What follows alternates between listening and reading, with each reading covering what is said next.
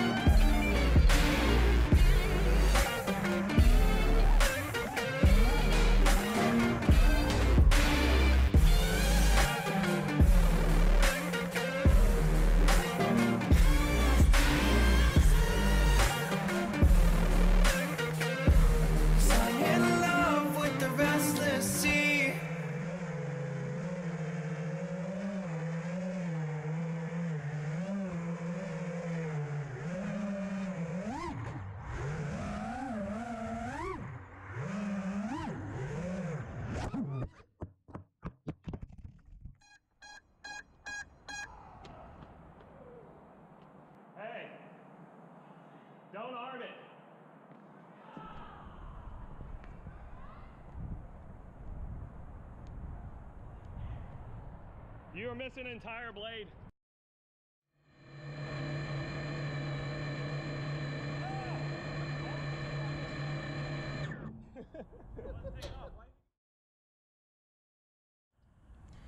All right, so this ought to be an interesting test. Um, this is going to be testing RDQ uh, 4S 1300 versus an RDQ 5S 1300. The 5S is brand new.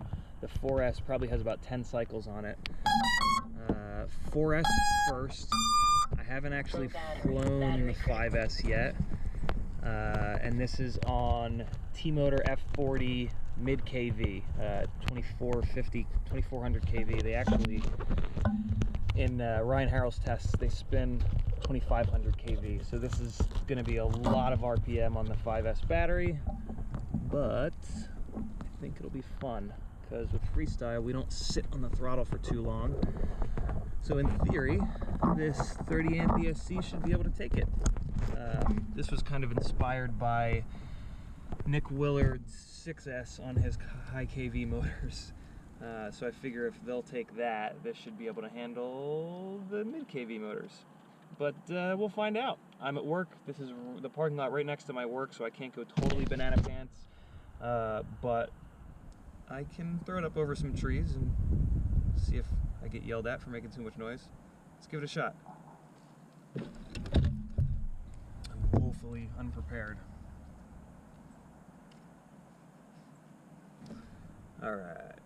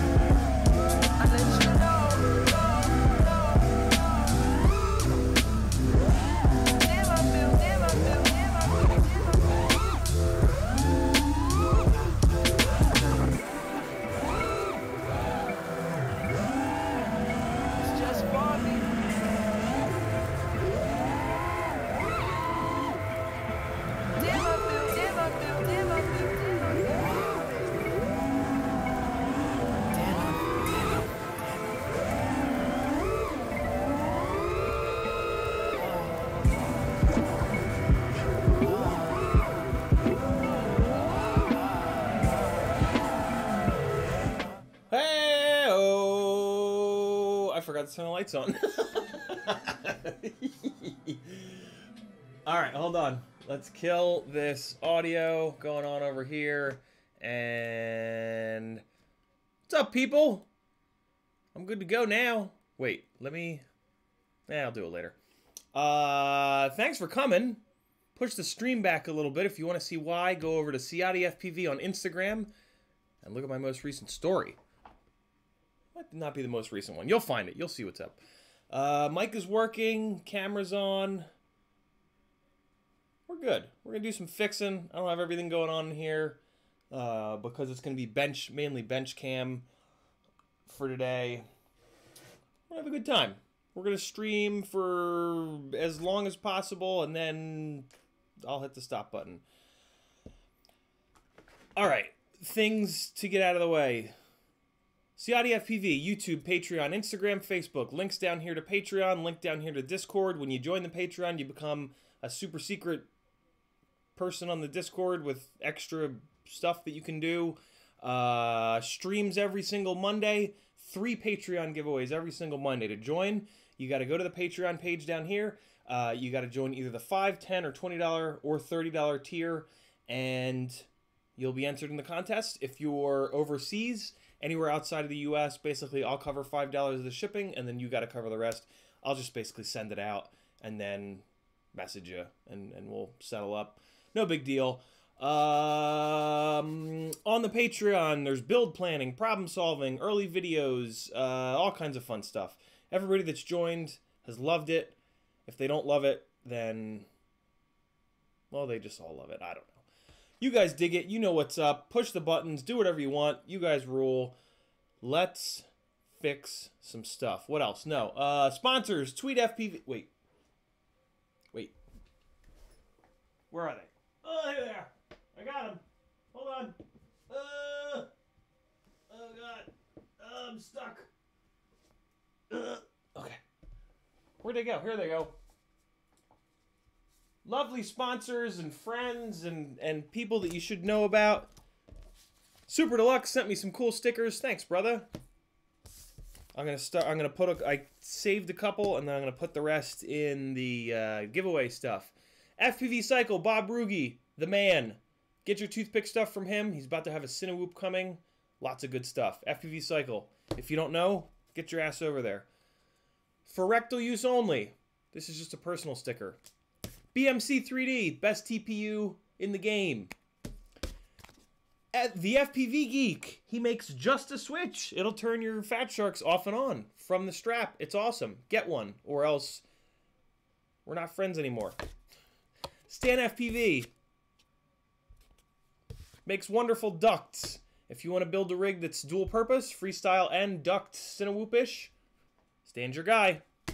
Uh, Kebab's new frame. I'm not going to say. You can probably figure it out from the context and the sequence of events there. Uh, I think that's it.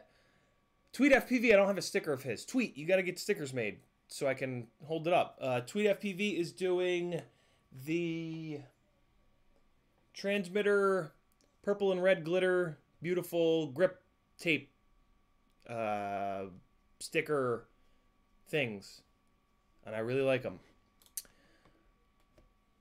switch to turn fat sharks on and off agreed agreed tux all right people thanks for coming as always you are my best friends. Let me get some things turned off so the computer doesn't catch fire.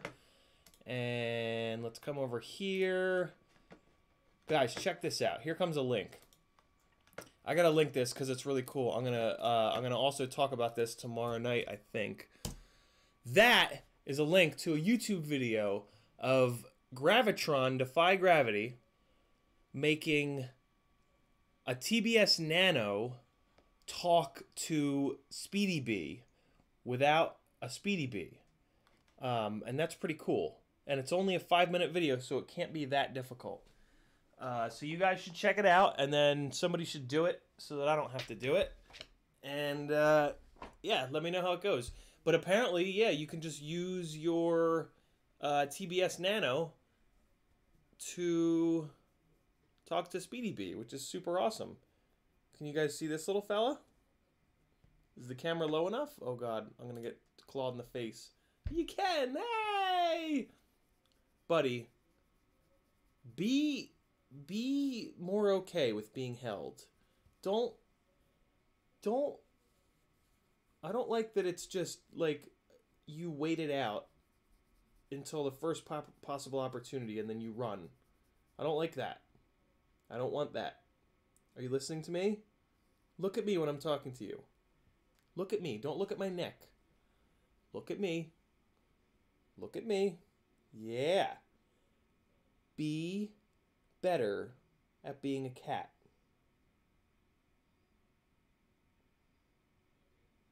You don't know what I'm saying, do you? I still love you. Thumbs up for the kitten. Everybody loved the kitten. One of these days I will eat him. All right, all right, all right. I get it. Don't claw me to death, please. Oh God. All right, hold up. Gotta take care of something. Ugh, I'm allergic to cats, but I love them so much that. Oh, okay. All right. Crisis averted. What's going on in the chat? What are you guys talking about? Uh, if you want me to read your comment, make sure you type at Ciotti FPV, at C I O T T I F P V. No spaces, no nonsense, and that will light up an orange for me. Uh, like this. There, I typed it. I typed it into the chat. That's all you have to do, and it'll light up an orange for me, and I'll read your comment. Uh, for the regulars, if somebody's commenting with a good question or something that I should see and they forgot to tag me, copy it, paste it, give them credit, tag me, and I will thank you for it. All right. Esk Race said, "Hello, Ciotti and everybody else. What's up, Esk? Uh, Mr. Tux is has some questions, and he's been ranting and raving about flight controllers. Fair enough. Uh, my solution is just to fly so hard that you break everything constantly, and then nothing ever gets outdated. If that works for you, awesome. If not, then it sucks. uh, dirt, dirt, dirt, dirt, dirt, dirt. What else do we have? Uh, oh yeah, we were talking about ISDT chargers. I've had a terrible experience. Uh, this is my second Q6 Pro that is failing.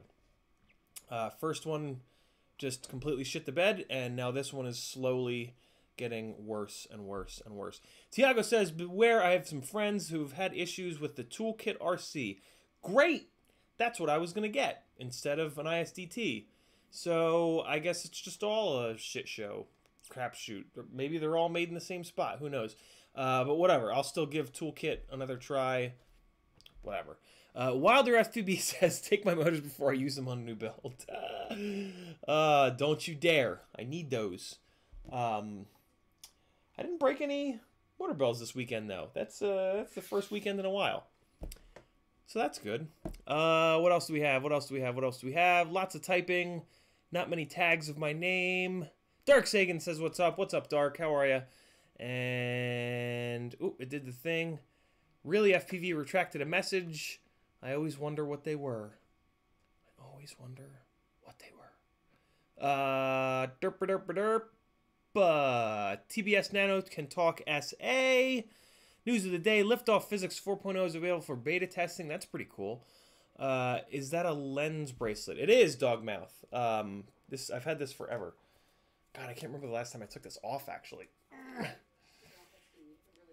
Oh God. Oh. There it is. Uh, this is made by. It doesn't say. I could have sworn that it said who it's made by on the inside. Uh, but I bet you Google can find it. Um, this is one of my favorite Canon lenses of all time. It's actually not the one that the camera is on right now. I just back focused. Let's front focus.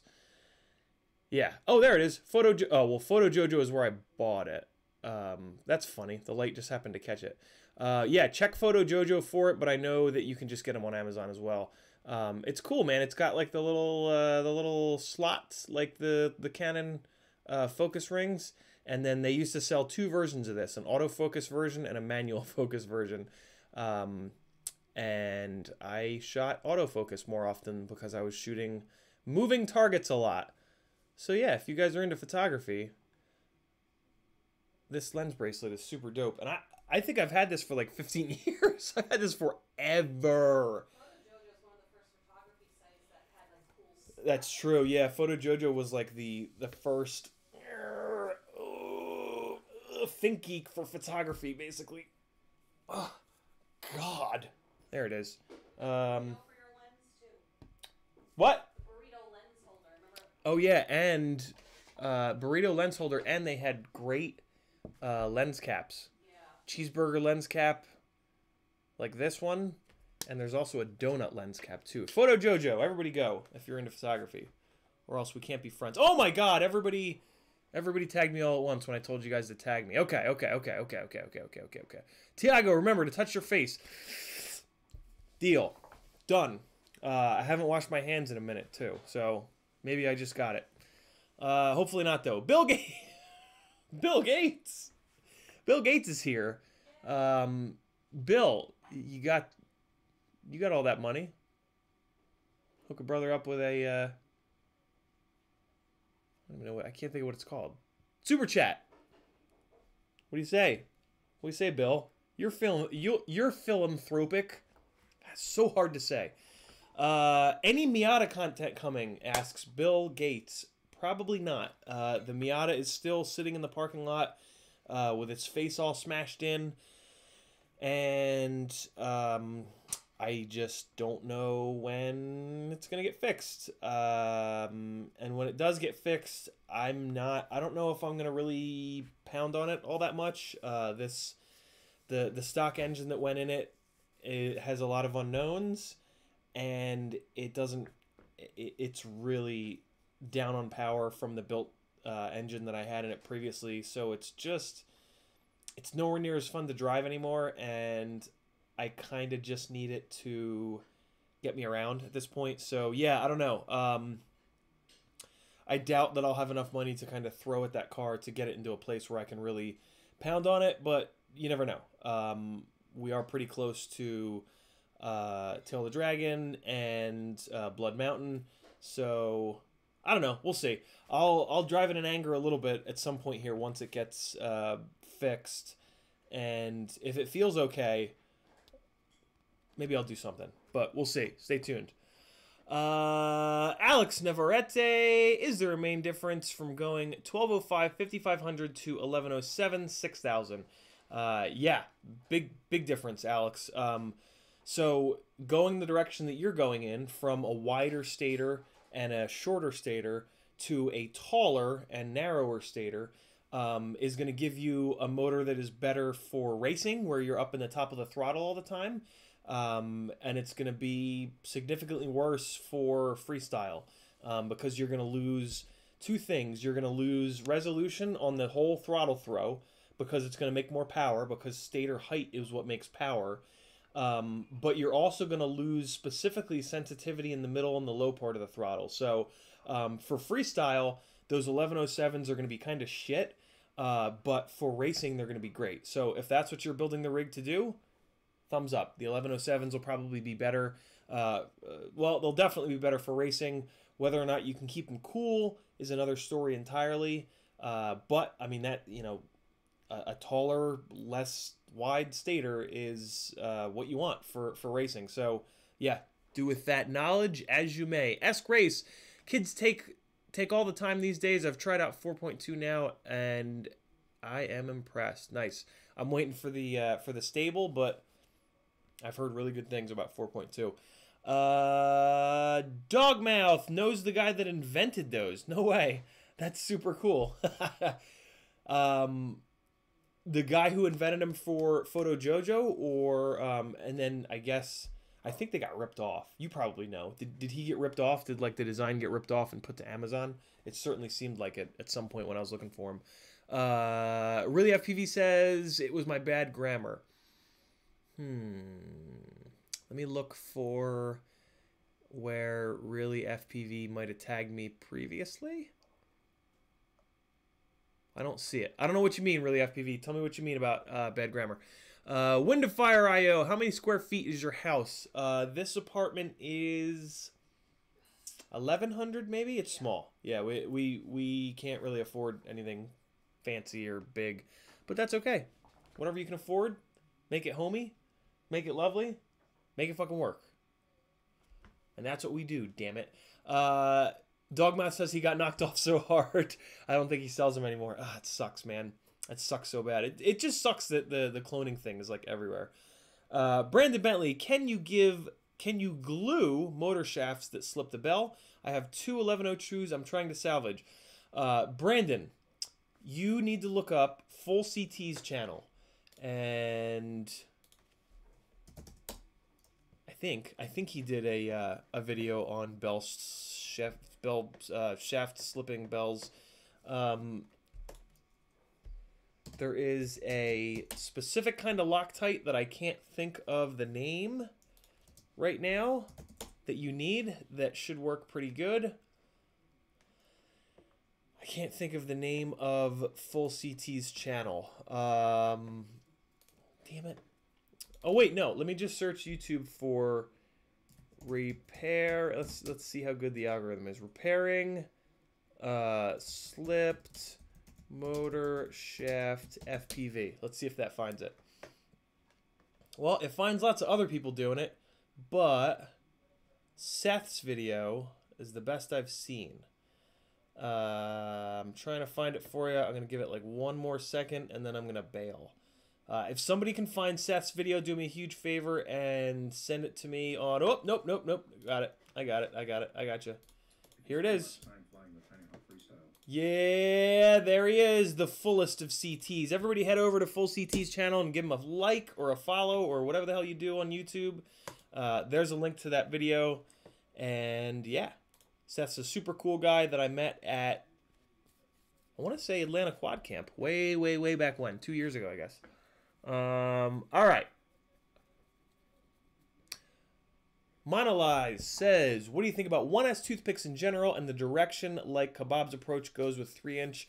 Um, Monolize, Kebab, and I are really good friends. We've we've been talking for the better part of like two years, I guess now on Facebook.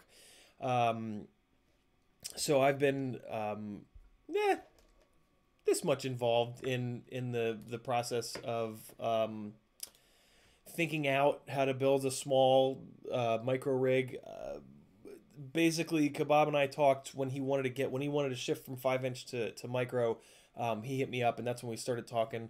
And we spent like a bunch of nights in a row just chatting back and forth until like two three a.m. And then six months later, he had an amazing, you know, uh, uh, first run of toothpicks, and it's just been like gangbusters for him ever since. Uh, yeah, it's great. His design is the best for sure. Uh, the 1S thing came as a surprise. I couldn't believe he dropped all the way down to 1S, but it makes sense when you're building something that's that that's light. That's that light. Um, for me personally, if I were to go the 1S route on a toothpick, I would have to buy all new batteries for that. I don't have any 1S batteries that would be uh, that have enough uh, milliamp hours for that. So I am staying in the 2 and 3S worlds uh, when it comes to toothpicks. And I've got two, basically, I'm going to be building two different ones uh, an, a non HD and an HD. Uh, so we'll see. I think they're going to both be on 1204 5000s uh, by RCinPower. And I'm hoping to maybe get those knocked out this week. It kind of depends, though. I just got the. Um, I've been waiting for a Runcam Nano 3, and I just got it from. It's here somewhere. Uh, I just got it from Pyrodrone, but it didn't have the lens on it. It was like missing the outer part of the lens, so I had to email them. I'm, I'm sure they'll email me back. Email me back. Email me back on Monday. So there's that. But yeah, the the one S toothpick thing um, is awesome. It's it's a really great way to just continue to bring the weight down. Uh, but yeah, if you've already got like 2S 450 mAh batteries or 350 mAh batteries like I do, um, then I would maybe stick with uh, 2 or 3S so you can reuse some batteries. All right. EBRFPV says, Love your shirt. What shirt am I wearing? Oh, I'm wearing Schizo's shirt. I was going to change into the NewBeeDrone shirt because I've worn this a couple times lately, and I've definitely, definitely, for sure, done the laundry. It's definitely not the third or fourth time I've worn this shirt. Was I shaking my head the wrong way the whole time? Just towards the end, I think there. Um, yeah. Luca P, what is your opinion on buying used FPV gear? Luca P, used gear is usually really, really inexpensive. Uh, a local friend of mine here, Andy, is like he's become like the king of Facebook market Facebook Marketplace, scoring like really, really, really good deals on gear. Um, just understand that they're selling it for a reason. Um, that that's the most important thing. There is a reason. Maybe the reason is they're they're just sick of the hobby, um, but typically the reason is that it's fucked up in some way. Um, so just keep that in mind and understand that when it shows up, um, it's probably not going to be perfect. For me, I would actually get it in and tear it down, and then I would put it all back together um, because I have sort of a methodical way that I build, and there's just a lot of little things that I've picked up here and there, which you guys can pick up a lot on by just looking back at the previous build streams. When I'm building, I, I try to talk through what's happening. Um, and we'll do some more of that here in a minute. So as soon as I get caught up with the chat, actually. Um, but yeah, other than that, do it. Uh, buy used stuff. It's it's uh, it's usually going to be totally fine. And if if they say that it flies, then it's at least in some semblance of of you know working order. So that's a good thing. And it might just be built wrong, right? You might pay like half what it's worth, and then there was a wire that was on the wrong pad or something stupid like that. You fix it, and boom, you just saved a ton of money. Uh, but again, just understand that there's something, there's probably something wrong with it, right? Uh, all right, so Okay, cool. Um, Alex also says, "Perfect. Thank you so much for racing builds. So looking forward to having more top end speed. There you go. That's perfect for that." Um,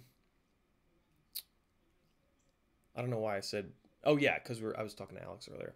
Uh, Doc Murdoch says, "Good afternoon. Can't stay long. Have to run to church. Stream shortly. Uh, keep up the great work." Um. Oh, oh, oh. Okay. I thought you said you were going to church. I was going to um, try to figure out how to nicely tell you what a bad idea that is. Um, but you said that it's a live stream, so that's okay. Whew. Okay, good. Yeah. Any any for the record, I'm an atheist. I have no religious affiliations. If you do, please don't go to those places. Please do the live stream thing and just I get it. Religion's very important to some people, but not dying is way more important. Um, so don't do it.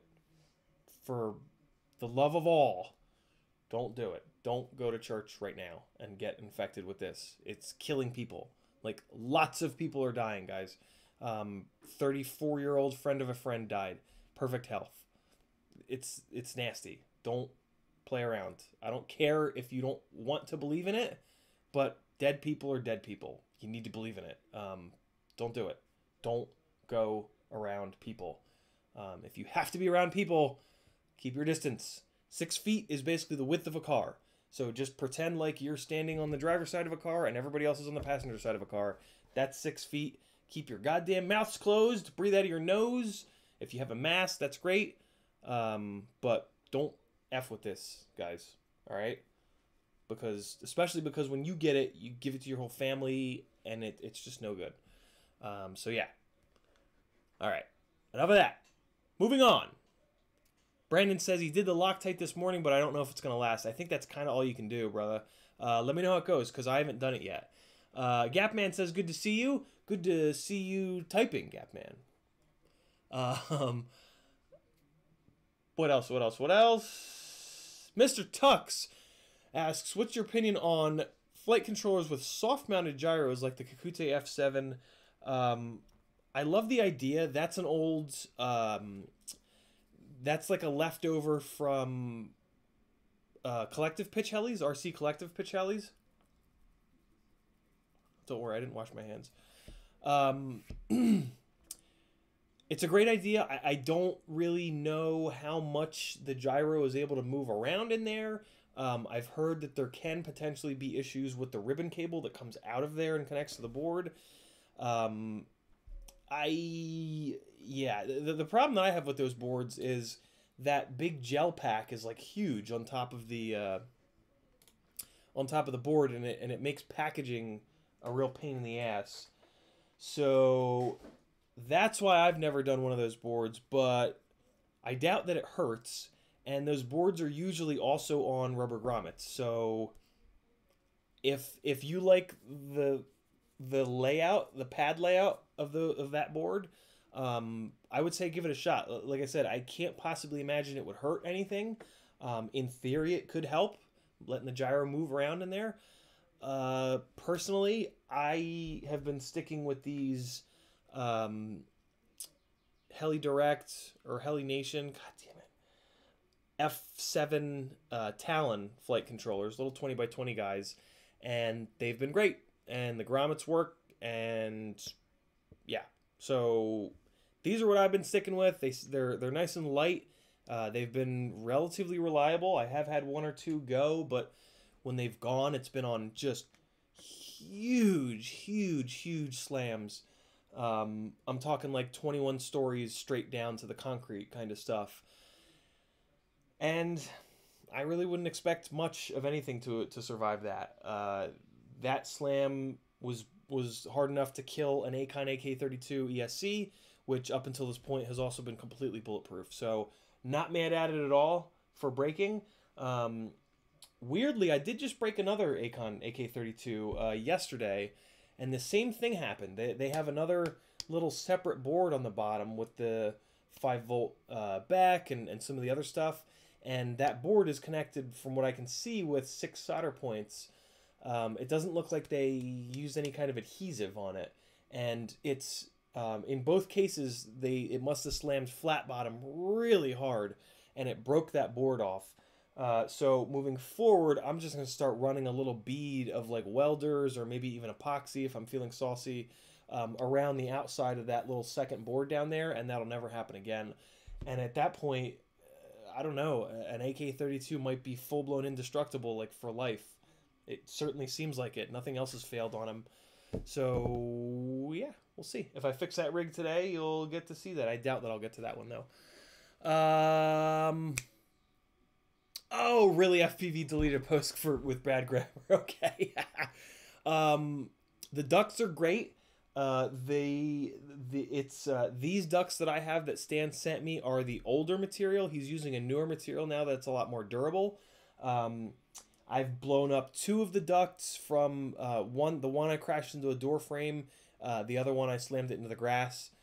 Uh, so I, I took the duct off and I've just been kind of reevaluating what I want to do from a Cinewhoop standpoint, and I don't quite have that figured out yet. I I, I I'm starting to lean towards the the Acrobrats being freestyle rigs again. Though I, I don't think I want to try to double duty them as um, Cinewhoops, but I don't know. If, if I do, it's going to be the Duo. The Duo has a lot more space for battery. Uh, the V1 is not a great uh, Cinewhoop, mainly because there's just not enough space for a big battery. Uh, the biggest possible battery that I've been able to fit on that is a 4S850, and it's like it's big on there. Like I, I can't imagine going any bigger. And with ducts and, and all the other Cinewhoop stuff, you know, a GoPro, uh, you're pushing like 500, 600 grams and an 854S is not a whole lot of milliamps for that kind of a setup. So I don't know. We'll see. I'm, I'm still it's still kind of up in the air. I'm still figuring out what I'm gonna do for the Cinewhoop thing, but uh, I'm getting closer. Uh, Monolyze, you're certainly welcome. Doc Murdoch says, been running the stream for the last three weeks. Just me and the pastor in the whole building. Very cool. Good on you, man. Good on you. Uh, cool. I think we're good. Yep, we're caught up. All right, let's move over to the bench cam and let's start fixing shit. What do you think? Um, I think I covered all my bullet points. Let me see. Uh, oh God, yeah, it was my birthday, and so I'm gonna show this on the bench cam. That's yeah. All right, so every once in a while, Kristen and I will make presents for each other, and they're always so much better than the presents that we buy. but it's also always so much more work. So we don't do it all the time. Kristen does it way more than me because she's just the best. Look at this.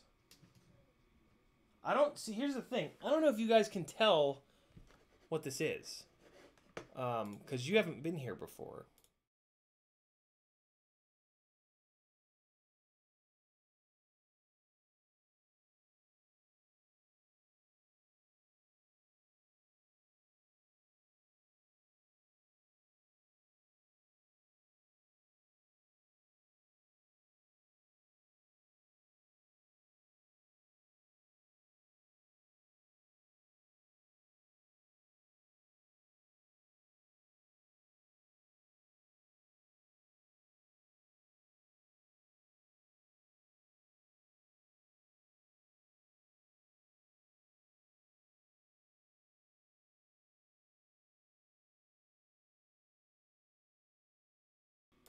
The audio. God damn the audio.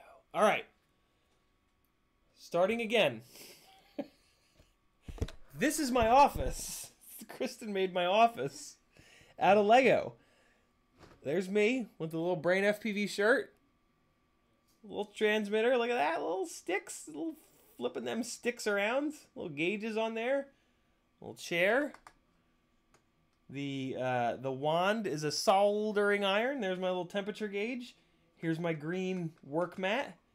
Here's the uh, the the swivelly lamp. We got some tools up here on the wall. Got the windows in the perfect positions. Some extra props in here. Gotta have extra props, right? Got my workbench with some M2 hardware and some nuts. Ooh, look at that. And then we got on this side, we got some little little wire bits, little 30 gauge wire going on there. We got a little a little GoPro Hero session. Look at that. Look at the session. I got a mini session. There's my little monitor. Uh, this is the closest she could get to FPV goggles. She sprayed she spray painted them white spray painted them white and then made the little antenna. And then on this wall we got we got some of my some of my artwork here.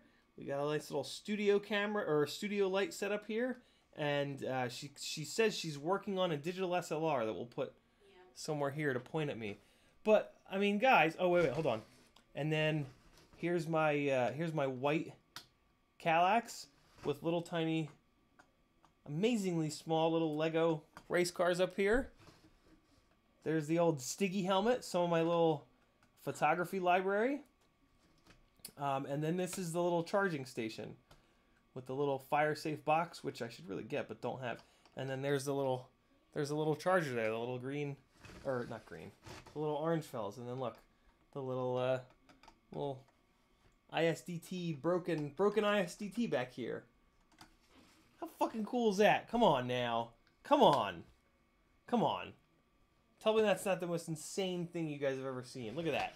You can look in the windows. You can like spy on me. What are we spying on? Ooh, what's he doing in there? What's he doing in there? There's no cat in here because the cat very rarely comes in here because he knows that when he comes in here, he gets beatings. And by beatings, I mean I love him and throttle him to the ground. Look at that. Come on. Come on now. Yeah, our cat doesn't he doesn't love being loved. He would rather just be left alone for the most part. If he's sleepy, he loves being loved, but any other time he can take us or leave us. So yeah, I mean, come on. Is that not absolutely terrific? Um, FPV Wannabe just ordered DJI goggles and a Caddx Vista. Plan is a 3 inch toothpick style quad, uncertain of a good size KV motor for long flights. So that's going to be tough. The the Caddx Vista and that camera and everything on a toothpick, uh, it starts to get a little bit heavy. Uh, I think you're going to want to go with a 1404 of some sort. Um, the preferred normal toothpick uh, motor without all that extra weight of the Caddx is a 1303.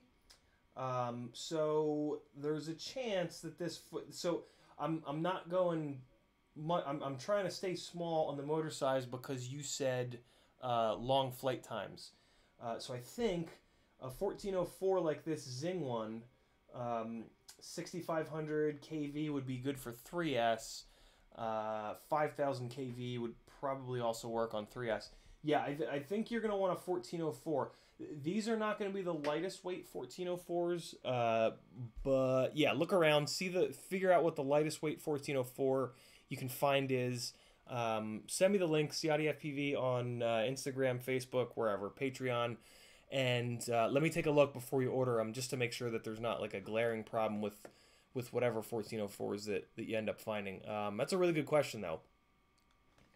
Uh, derp, derp, derp. What else do we have? Also, there are a couple pre-built, um, you know, like like bind and fly, um, toothpicks right now with the Caddx setup. Take a look at those. See what motors those guys are putting on there. Don't just copy them, but just see, J- just for a little bit more data. See what they're putting on there um, to get yourself in the ballpark. Uh, that's a good question, though. Uh, John Dyson says needs a slice of pizza. I think we can. Uh, I think we can do that. Mr. Sprinkles asks, is it possible to run RPM filters on a Tiny Hawk S? Uh, I assume so. There's probably a Tiny Hawk S Facebook group, um, or just a Tiny Hawk, or just even an Emax Facebook group. Um, go in there, post it in there, uh, or just get JESC and just see if it finds it. Um, just uh, assume that you can, and uh, if you can't, they'll let you refund the licenses. Oh yeah, rotor builds too. Yeah, yeah, yeah, yeah, yeah. Rotor builds. Tiago, good good point. I always forget about rotor builds. Uh, check check rotor builds out as well. Uh, FPV wannabe to see what other people that have maybe built that same toothpick setup uh, are doing in terms of motors. Uh, sprinkles, I can all but guarantee that you can run RPM filters. One one of the things I love about Emax is they don't use um, specific targets. Uh, like they don't use proprietary targets, I should say.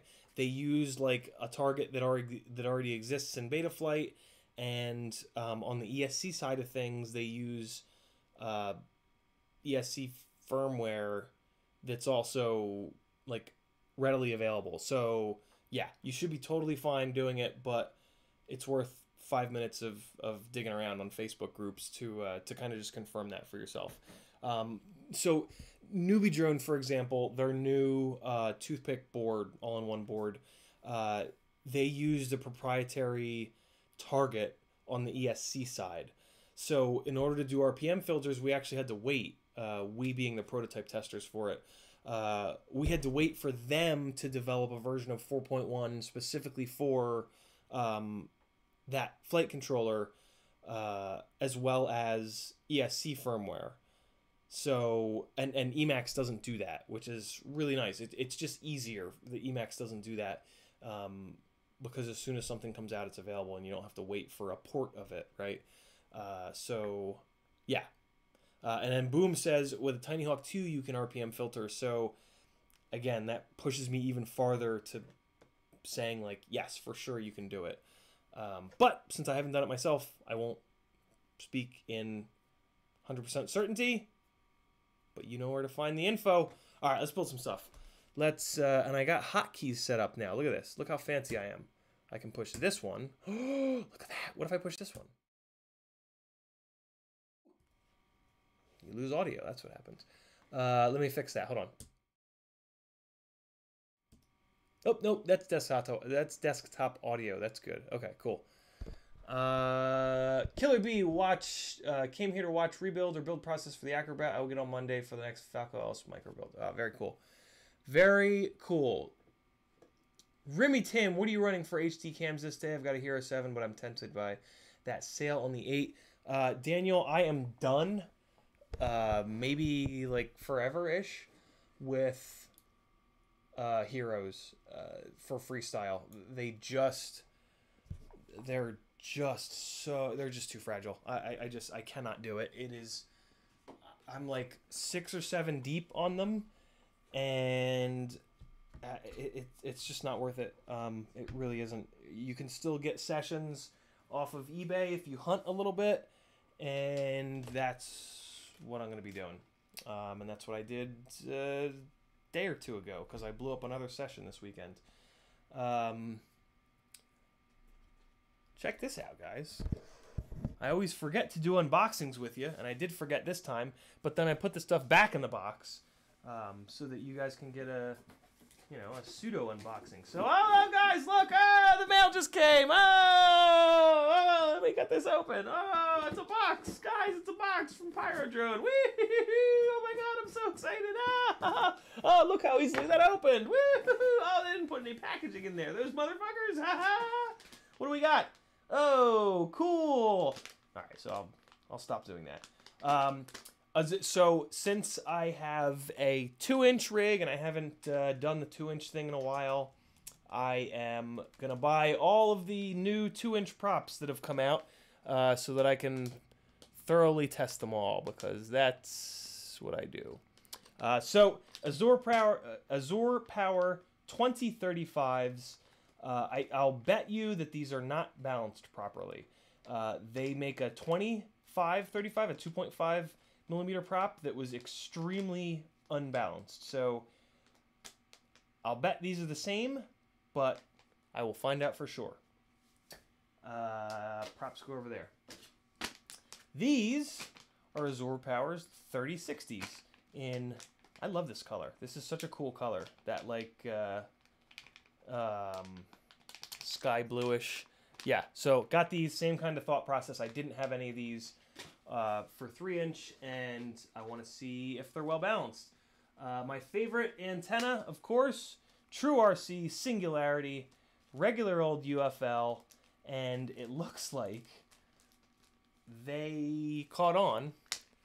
I don't know. I mean, it would be kind of cool if if they just happened to see this on my stream because this is exactly the way that I prep them. Uh, but they are now prepping their antennas in the same way that I do, with a piece of shrink wrap here, just to give this a little bit extra firmness, and then a second piece of shrink wrap that runs up onto there uh, to really make this uh, the joint between the head and the wire a little bit stronger. So that's pretty cool. The only extra thing that I'll be doing on these is um, uh, putting another piece of shrink wrap up here, just on the just on the edge of the cap, uh, the top of the cap, to make sure it doesn't pop off.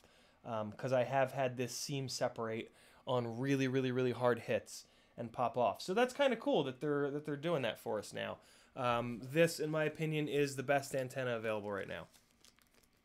So go out and get you some. It's a little expensive, 20 bucks per antenna. Yeah, that's a lot, but um, you get what you pay for, and they're incredibly light and incredibly durable once you've prepped them in this way. So that's pretty cool.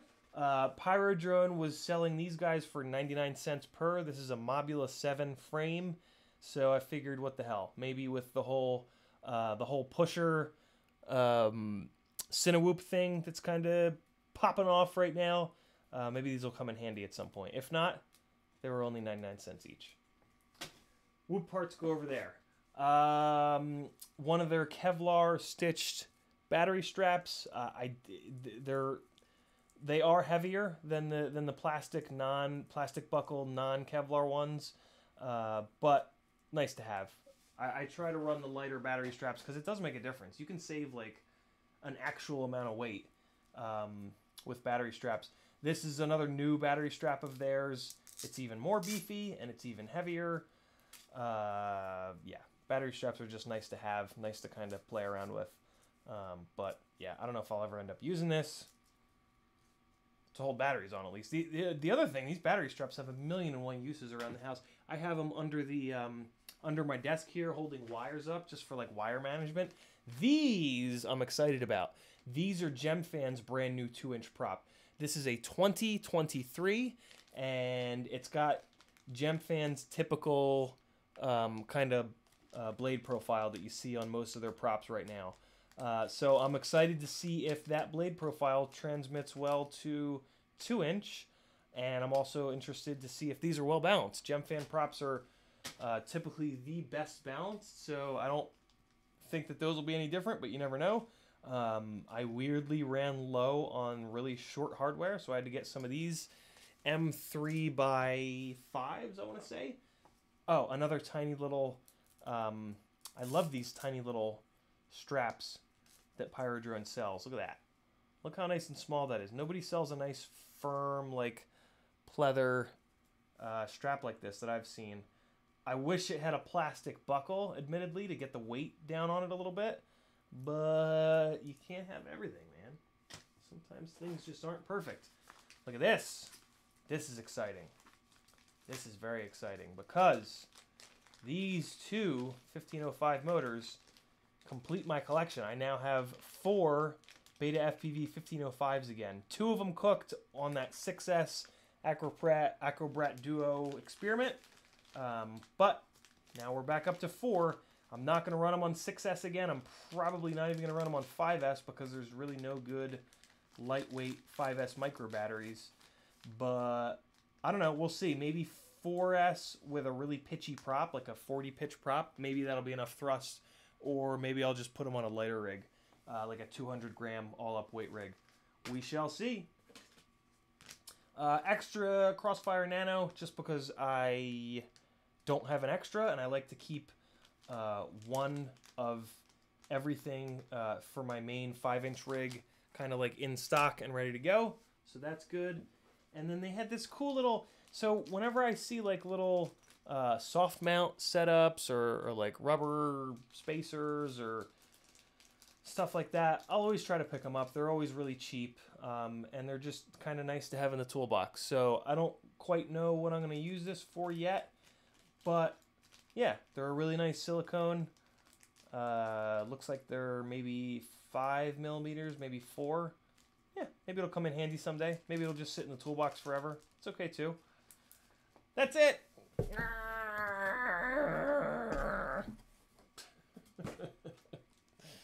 Okay, let's clear the bench off again. Get this spun around and get to work. All right, this is camera pointed in the middle. Let's get that set here. All right. So, it's six o'clock, my computer says. How on earth did that? I guess because I was chatting for about four hours.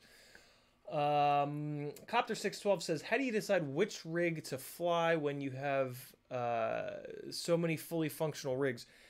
I, at the moment, have one fully functional rig, uh, five inch rig that is. Um, every once in a while, I'll have like two or three, but it that's uh, unfortunately kind of rare. When I do, though, um, so with the glides, I try to keep those set up as similar as possible, so it, it kind of doesn't matter. Like there's three of them that are pretty much identical. Um, so basically, whichever one is the most banged up is the one that I'll fly first um, to just try to end it. uh, although that does depend. Like if, if, if I would if I were doing a um, a paying gig, it, it would that would not be the case. Uh, paying gig, it's going to be the cleanest, you know, freshest rig. Uh, but just going out to fly freestyle, it's going to be whatever's the most banged up, so that I can hopefully push it over the edge and then fix it for real. Um, and then if if I have like a five inch and a three inch and a two and a half inch or a tiny whoop or whatever, it really just comes down to like the space that I'm gonna be. Oh my god, flying in. Uh, if it's a great big space, it's five inch city. If there's people, you know, running around, it's gonna be little and lightweight. And yeah, that's about it really. It's it's just kind of like when i get somewhere just take a second. Like you know look at each one and just you know are you gonna be the best? Are you gonna be the best? Are you gonna be the best? Um brock lopez hart says what cheap five inch motors do you recommend uh, unfortunately all I've flown in the past two years are premium five inch motors in the form of uh, T Motor F40 Pro 2s. They were discontinued about a year ago, so I bought as many as I could because they were going on clearance. And they, I mean, like, I was getting these twenty-five dollar motors for like fourteen bucks and thirteen bucks for a while there. It was great, uh, but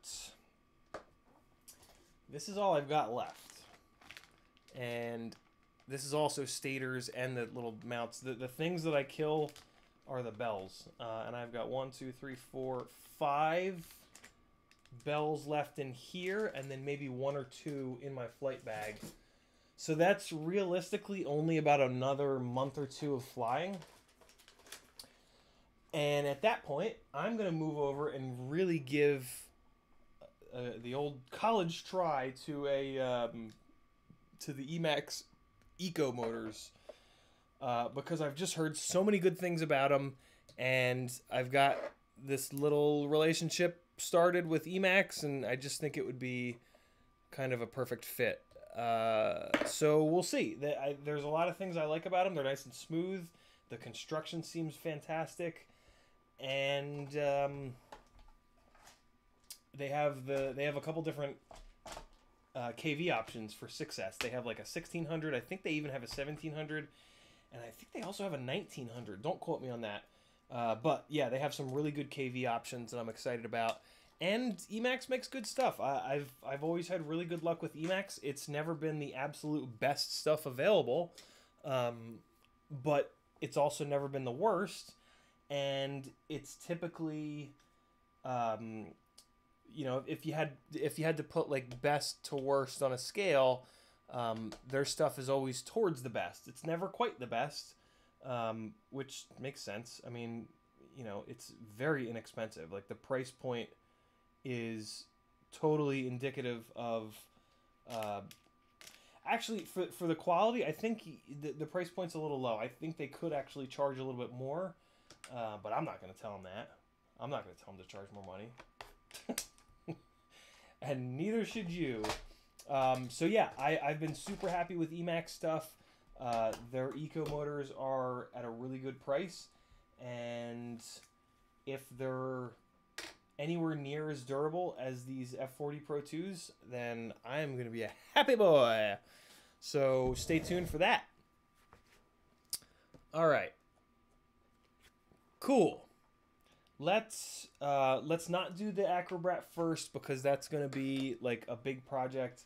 Um, I have one or two things that I would like to get knocked out real quick, which will allow me to have more than one working rig again. So let's do those. Uh, it's basically just going to be an arm swap.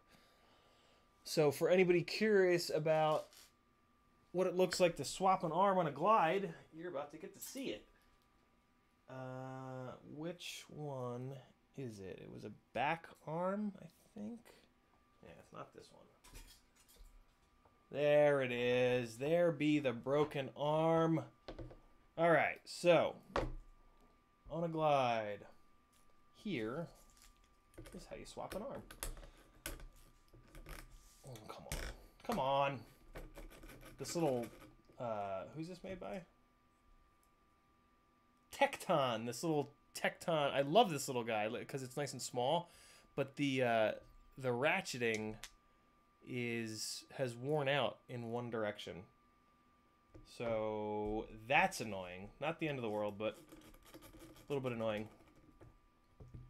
I'll keep rocking it. It, it kind of it, it's kind of limping along, so I'll keep rocking it until it totally fails because that's kind of what I do. All right, so prop comes off.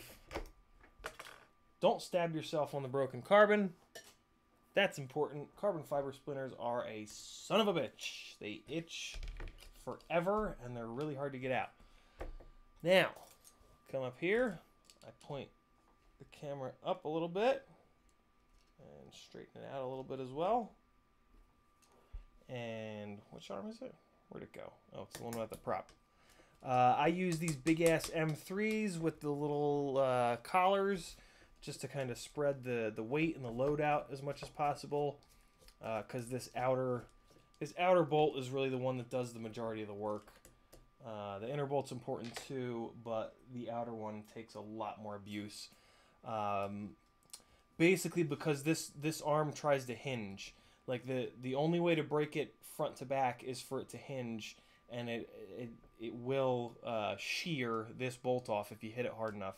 I've only done it once, I believe, um, but it has happened. So, if you have a glide, pay attention to that. Now this screw is just turning the stand off because it's probably bent. So let's just grab the standoff with them pliers. Uh, the T uh, Brock says he's also been looking at the T motor uh, Velox. Those are really good. Uh, they're kind of heavy though. I, I I think the Velox is the same exact thing as the Pacer, just with a different outer bell design. Um, and yeah, the Pacers are a little bit heavy. That's why I'm uh, going to the. Uh, that's one of the other big reasons I'm going to the Emax Eco motor because it's nice and lightweight. Uh, so yeah, but those uh, those Velox motors, as long as they're the same thing as the Pacers, which I'm like 99% sure they are, um, they're a really good motor. I, I was uh, I was pleasantly surprised at how good those uh, Emax Pacers, or not Emax, T Motor Pacers were uh, that they sent me to review, and I actually really need to. That's another review that I really need to get off my ass and get finished up. But uh, yeah, you'll be good with those if if you're okay with a little bit of extra weight. In theory, that little bit of extra weight could mean a little bit more durability. I don't know. It's hard to tell. Uh, the, all of the eco motors have stainless steel. I assume it's stainless steel. I, I, I assume it's not regular steel, but it's some sort of steel uh, motor shaft, and that is not as. And th- that's the main reason why they're a little bit less money versus the pr- uh, premium motors, which have titanium shafts. Uh, titanium is a harder material, but it also snaps, uh, whereas steel is not quite as strong, but it bends instead of snapping. Uh, the a motor shaft bending pretty much ruins the, the motor anyway. So I would actually rather have titanium, but 12 bucks versus 25 bucks is quite a price, a price difference. So that's why I said if the uh, Emax Eco motors are anywhere near as durable as the T Motor F40 Pro 2s, um, then that's a good deal. I'm I will totally change motors out a little bit more often uh, that are half the that are half the money, right? Uh, with the with the T motors, even though I was getting them at a discounted rate um, when they were on clearance from places, I would run the bells until the wheels fall. Like I would run the bell until it was vibrating so bad that the whole rig was like a hot mess. Um, and that's stupid. Like if if I was paying half as much, uh, well, I guess it wasn't half as much, but I don't know. I, I just feel like with with the Emax Eco motor and and maybe uh, maybe if I can build the relationship a little bit more with them, um, they'll be even less than twelve bucks a motor. Uh, yeah, if a motor is cheap enough and it got like banged up to the point where it wasn't spinning true, I would just swap it out. Um, so yeah, that's that. Uh, kind of self-explanatory, I guess. Everything that's happened so far. There's the break. That is where Kebab wants these arms to break, and that is where um, I also like to see arms breaking. It's outside of the base plate, so it's not putting so much load on the base plate that it's breaking that, which is good. Um, and having it break here, the arm just kind of hinges up like that, and, and it tends to really save the motor wires and the motor. And I don't know, a lot a lot of arm breaks like this uh, don't take anything else with it, and I think that's really important uh, because I will swap a, a, four to eight dollar arm. That's pretty much the range of what you're going to pay for a replacement arm. Uh, versus anything else involved, right? Base plate, motor, um, wiring, all day, every day. So let's grab a replacement arm from here and slap it on. Oh, lots of orange over in the chat. What are you guys talking about? Uh, Blitz FPV says his toothpick and cap has black horizontal lines whenever I punch out straight 5 volt power from the crappy flight controller VTX and camera no OSD. VTX is also crap and antenna is handmade. Who's the culprit? Jesus, Blitz. um, I don't know, man. I, I'm not the best. Um, Oscar Liang has a really good article on uh, tracing down uh, uh, video problems where he talks about uh, you know, white horizontal or, or diagonal lines mean this and that and the other thing. Uh, I've never really had to go dive like fully into a, uh, uh, a video noise troubleshoot. I've always had pretty good luck just using like decent components, you know, tramps on my five inch rigs and, and stuff like that. Um, and then I, I mean sometimes you just have to go like kind of piece by piece and and just one by one uh you know switch one thing at a time see if the problem gets any better. So i i, I mean I, I guess i would try that. Take a look for uh oscar's uh, um you know bardwell probably has a video or two out there as well. But uh yeah, I just I don't run into video problems often enough to know it off the top of my head. Uh, when it happens, I just look up Oscar's article and just kind of start working through it. So, unfortunately, that's what you're gonna have to do, unless some of these smarty pants in the chat have some have some opinions.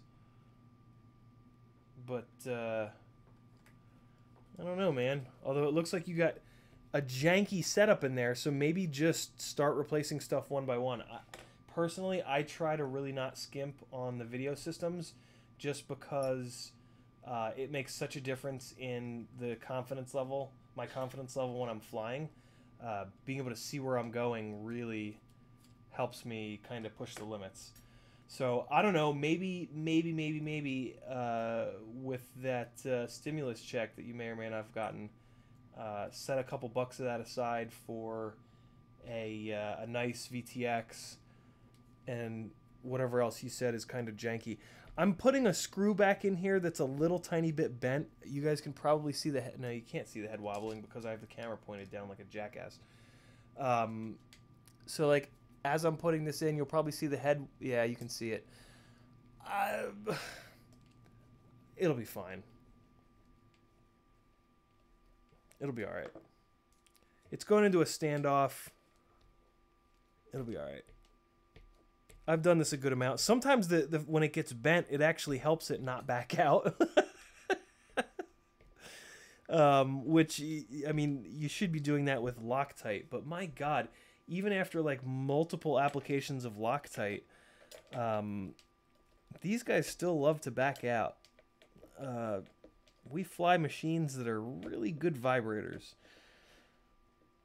Sounds weird to say it, but man, is it true. They create some pretty amazing vibrations. Ugh. All right. And that's that, my friends. Uh, let's throw a foam pad on here. And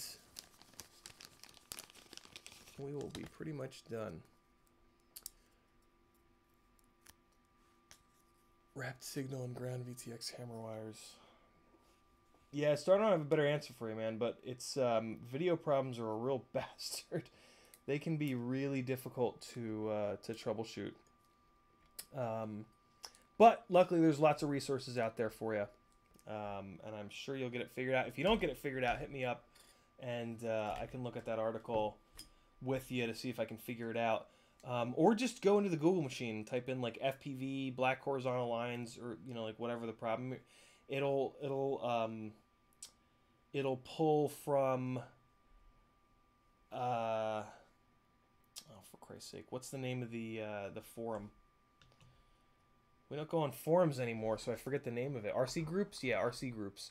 Uh, RC groups is a, a searchable searchable uh, by Google. So yeah, you might be able to find that answer in there. Uh, what I'm doing here is just getting this VHB heated up a little bit because it's really dirty and I'm, I'm being kind of lazy about replacing it.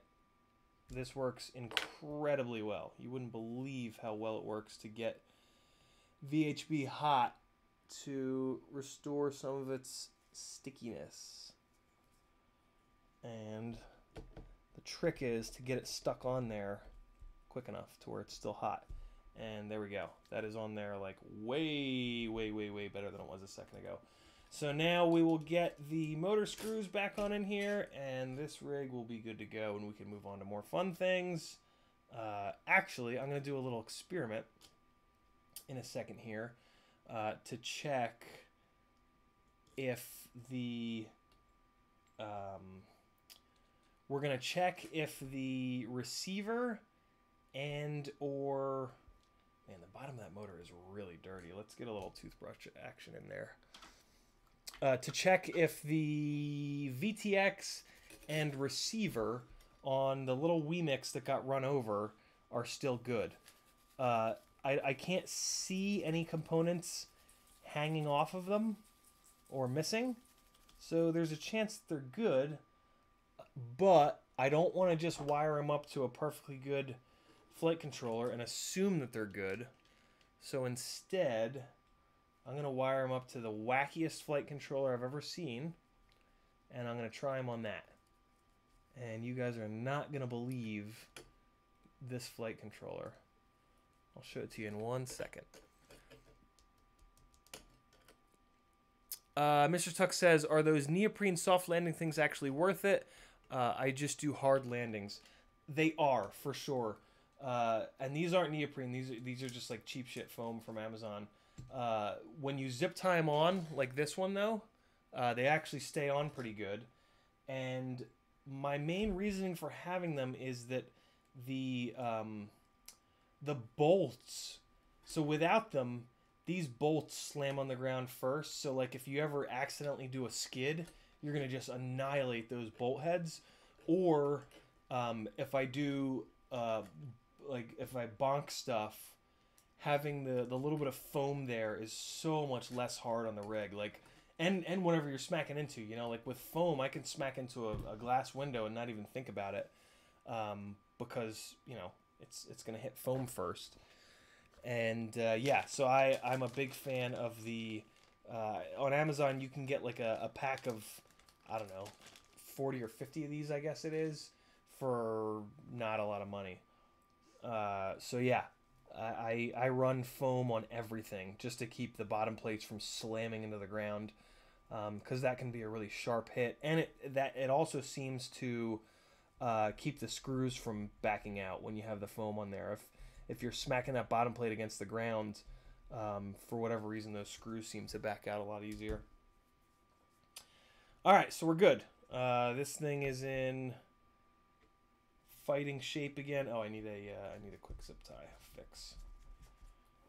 And we're gonna use one of the black ones because they're the strongest. Oh god, this one's all mankied up.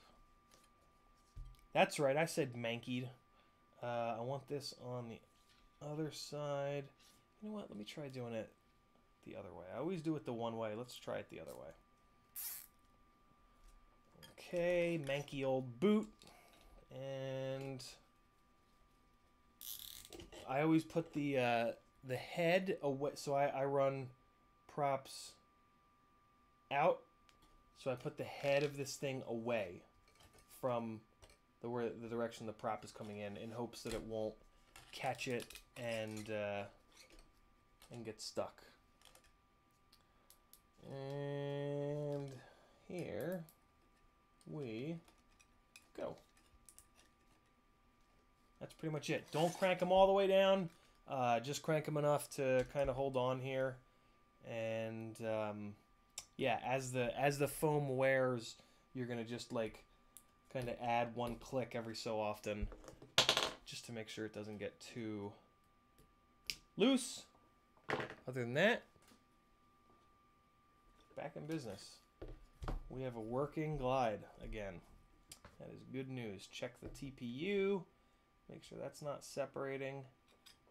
And it is ever so slightly, so let's just fix it right here real quick. Ugh, just to keep it totally strong. Or as strong as as we can muster at least. Alright. TPU is such a magical thing. Like, it's so cool that the actual process of making this is no more than doing what we're doing right now and just getting it hot. It really makes repairing easy as long as you don't get it too hot. If you get it too hot, it can uh, it can kind of warp on you. But just keep an eye on it, and you can get it hot like that, and then it'll uh, all melt together and form a really nice strong surface, even after it's ripped a little bit. Um, I wish there was a way to like to just like bake these things. I, I've I've seen it talked about before, um, where you can just kind of bake these things, but I don't know. We deal with so many compound curves that they might uh, they might warp a little bit if you were just to throw it in the oven. But there we go. That little bit of uh, torch fun will keep this TPU mount together for probably another hundred big horrible crashes. Uh, and I think everything else on this rig is good, so we will put it aside. Ah, there we go. Okay, what's going on on the chat? Oh, did I melt the top of the prop? Whoops. good call. Thank you for that. Let's see. Ah, it's fine. I think it's broken from the concrete. Eh, maybe I melted a little bit. That's okay. These props will. I won't. I probably won't fly on these plop, props. Plops. Great. uh, Luca P says two, three, or four motor screws. I like three. Uh, two creeps me out. Um, uh, three just seems a lot more sensible. Uh, Mr. Tuck says, "Thank you. I usually fly over grass, uh, so I think I don't need them, but I think I'll get away with them for other spots." Gotcha. Um, what brand is that race wire LED on your arms? That is the Pyrodrone brand. Whenever you see that yellow, um, that is Pyrodrone. That is their super secret uh, color for their flight controllers, for their ESCs, and for their race wires. And uh, yeah, I built that back when Pyrodrone was selling the Glide before Bob uh, pulled it onto his his site. So I figured, what the hell, you know? Let's let's go, let's go all Pyrodrone. All right, are you guys ready for the world's oddest flight controller? I hope you are, cause it's coming. It's coming in hot. And here it is.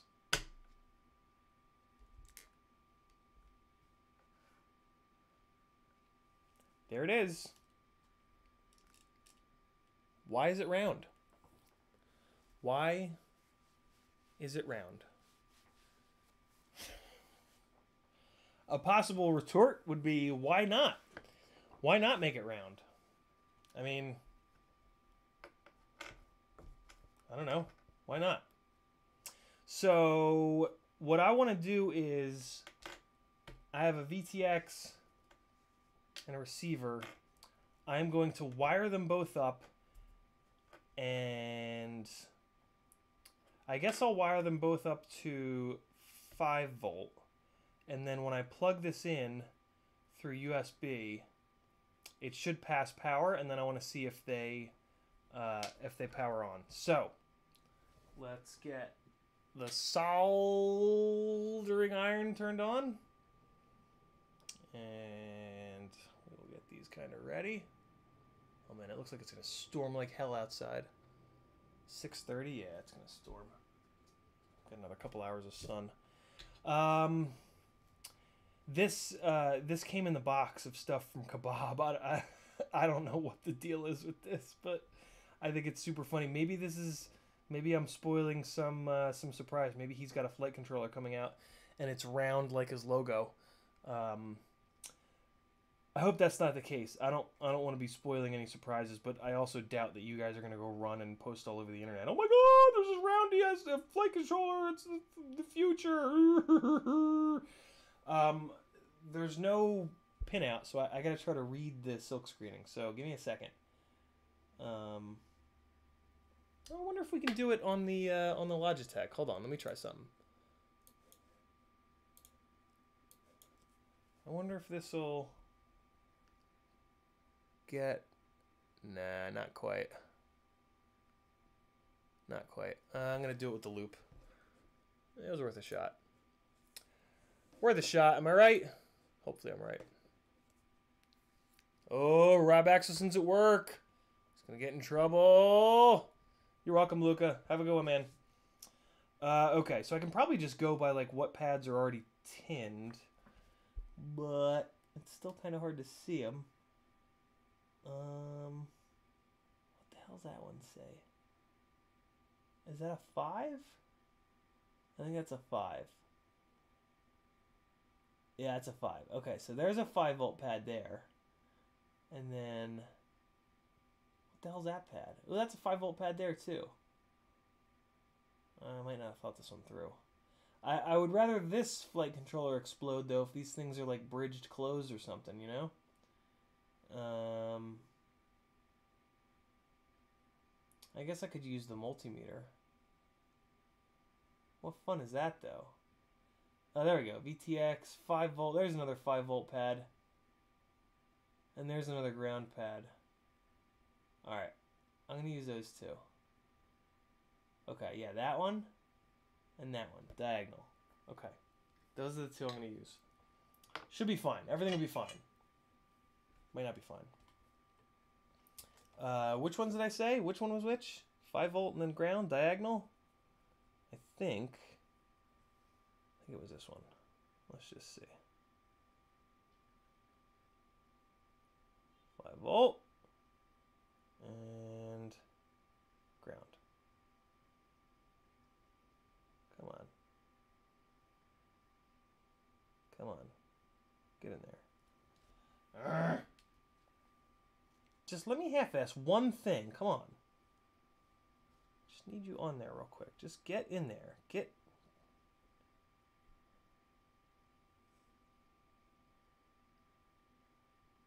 just just flow, please. Don't make me do it the right way. Just work. Okay, good. All right. Let's plug it in and hopefully it doesn't blow up the computer. But if it does blow up the computer, it'll be blowing up the tower, which is not long for this world anyway. Yeah. Mm-mm. Mm-mm. All right. Didn't blow up. It's also not powering on. Uh, so the question becomes is that because this is not a powered 5 volt? Or uh, is it broken? Very good chance it's broken. Do you really, Tux?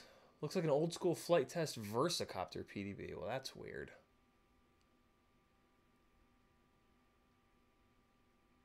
You know what flight controller that is? And the first sentences of the store page are as amazing as the shape. Why did I choose to practice? Real Kung Fu, Chinese Ma. Never forget the dialogue. You lost me, Tux. I'm lost. All right, I'm gonna get the. Um, I would like to be able to sell this tower, maybe, or at least give it to someone. Um, so I am gonna bust out the multimeter. Okay.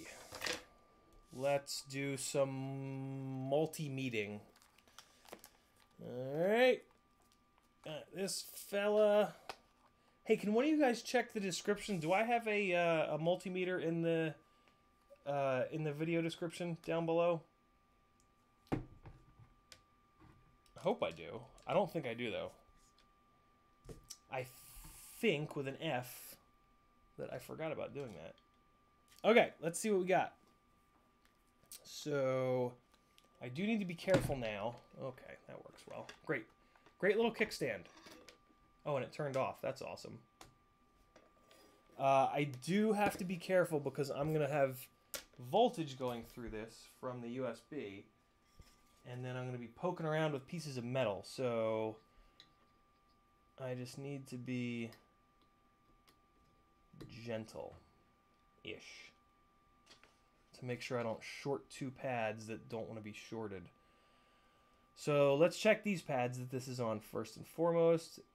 And okay, there's nothing. All right, so good. In theory, that means that this um, receiver might still be okay. Uh, but I do need to find pads with 5 volts. So I might as well just desolder this now. I should probably not do that while it's on. Plugged in, rather. Would be intelligent. Alright, so let's get it off of here. We're going full jank here. Okay, where is another set of 5 volt and ground pads that I can test? Let me get that loupe out again here off camera. Okay, there's a 5 volt, and I think that's a ground right next to it. So let's try those. These two little guys here, and they're uh, and they're tinned. So Kebab was, in theory, working on them. No magic spoke yet, Rob. it's a Racerstar Tai Chi flight controller. Wow, that is strange. Uh, I don't have it plugged in, so it's definitely not going to give me any voltage. Any voltage with a W. Let's try that again. We got a little bit of ground, a little bit of 5 volt. Ooh, there's something. But it's not a lot. It's going up to 163 millivolts.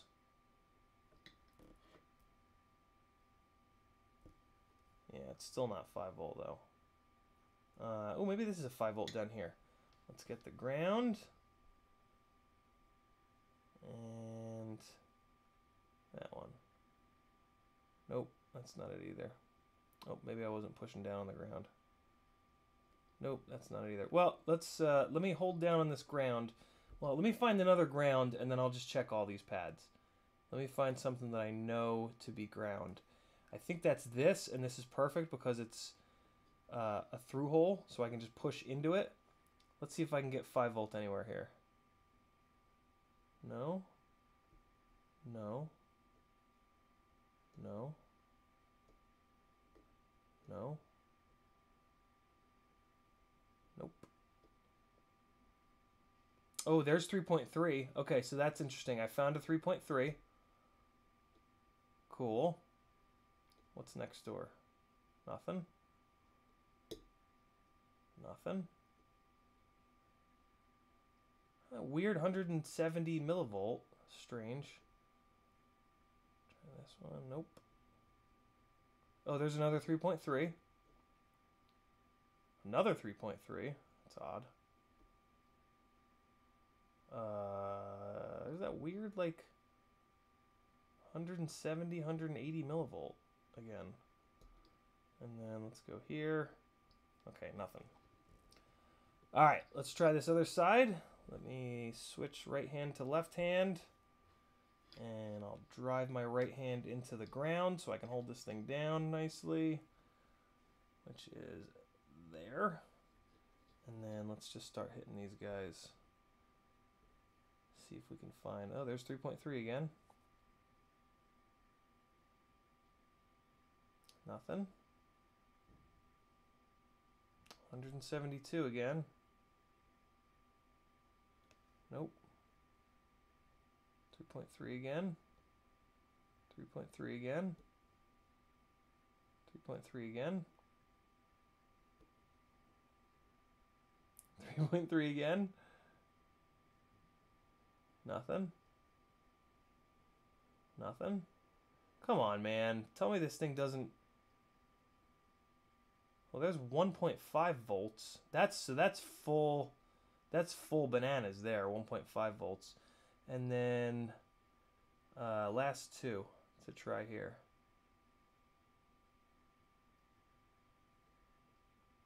Uh, nope.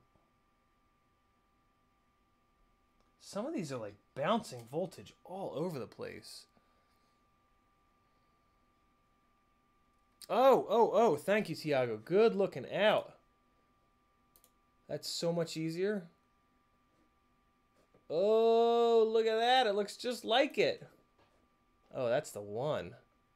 Look at that. They made a round, they made a round ESC. And it's BLHeli_32. What? Dude, this is the future right here, guys. Okay. Circles, why not? All right. Oh my god, that's a 40 amp ESC. Holy crap. Okay, Tai Chi. Racerstar Tai Chi stack. Okay. All right. Give me the goddamn pinout. Come on. Scrolling, scrolling, scrolling. Yeah, there's the pinout. Okay, hold on. So I'm going to look for the receiver uh, where I'm just going to look for where they want you to power the receiver because that usually has 5 volt um, from USB. And what that means is I need to go like this, point the USB upwards, and no, that's flight controller. Oh, come on, man. Really? Why is it so small? Uh, okay, so that's 5 volt for the VTX. Let me move the mic. You guys probably can't hear me worth a shit. Um, ah, here we go. Here we go. Okay, so I want. What? They, they, they, this is a weird pinout. This is a very strange pinout. Um, yeah, I know five volt and ground, but you gotta, you gotta tell me which. Oh, you sons of bitches. Um, what is that thing? Flight control? What, what is that? What's that looking at? Five volt and ground. See, it looks like it wants me to do those five volt and grounds that I, the first ones that I tried. Uh. Oh wait, no, no, no, no. Let me look for uh RX1. Where's RX1? There's RX1. Okay. Okay, and then there's SBUS. I see what they're working with. Okay, and then very next door. So one, two, three, four. Third and fourth on the top row bottom. So let's see if that actually has five volt going through it. I'm pretty sure that's the one that I was using. Maybe it just doesn't pass 5 volt on the USB. Uh, I've never really seen that before, but who the hell knows? Um, okay. One, two, three, four. Yeah, and those are the ones that are tinned. So that would make an awful lot of sense. Let's try them. So it's this guy and this guy.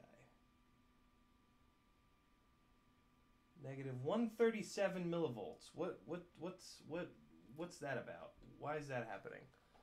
Um, 5 volt and then ground. Okay, so this should fix the negative issue. But why such a weird number? Is it maybe because it's plugged into Yeah, see that's only pulling 0.25 of a volt. Maybe it just needs VBAT. Yeah, 0.27 of a volt. That's weird. Um.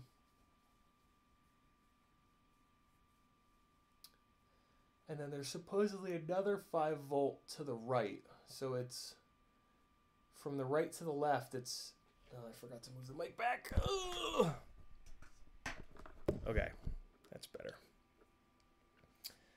Very strange. Uh, so let's try these other ones. It's uh, what two in?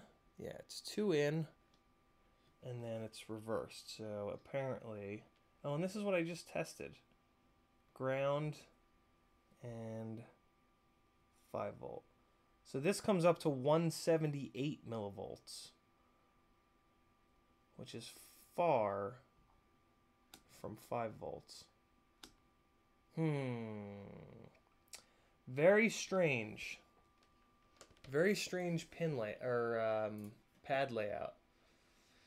Um, Oh yeah, good call, EBR. Any jumpers to go from 3.3 to 5? I didn't see any, but um does not look like it.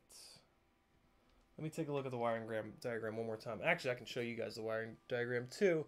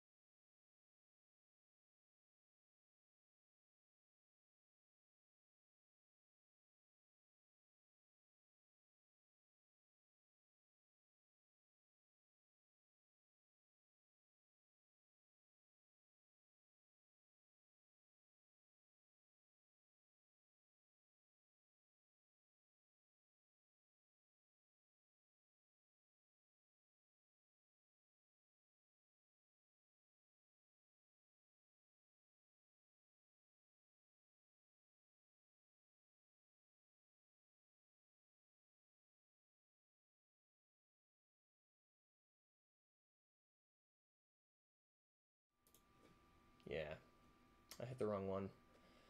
My bad. Uh, yeah, I don't know. This is uh, this is weird. Five volt to the VTX. So th- this should definitely this five volt should definitely not be powered from the USB. But I feel like this one should, man. It, th- this five volt should be powered from the ESC, and it just doesn't look like it is. I might as well solder to it though, just to see. Uh, what is the third one in? I don't think I soldered to that third one in, so let's just give it a shot. What the hell? Uh,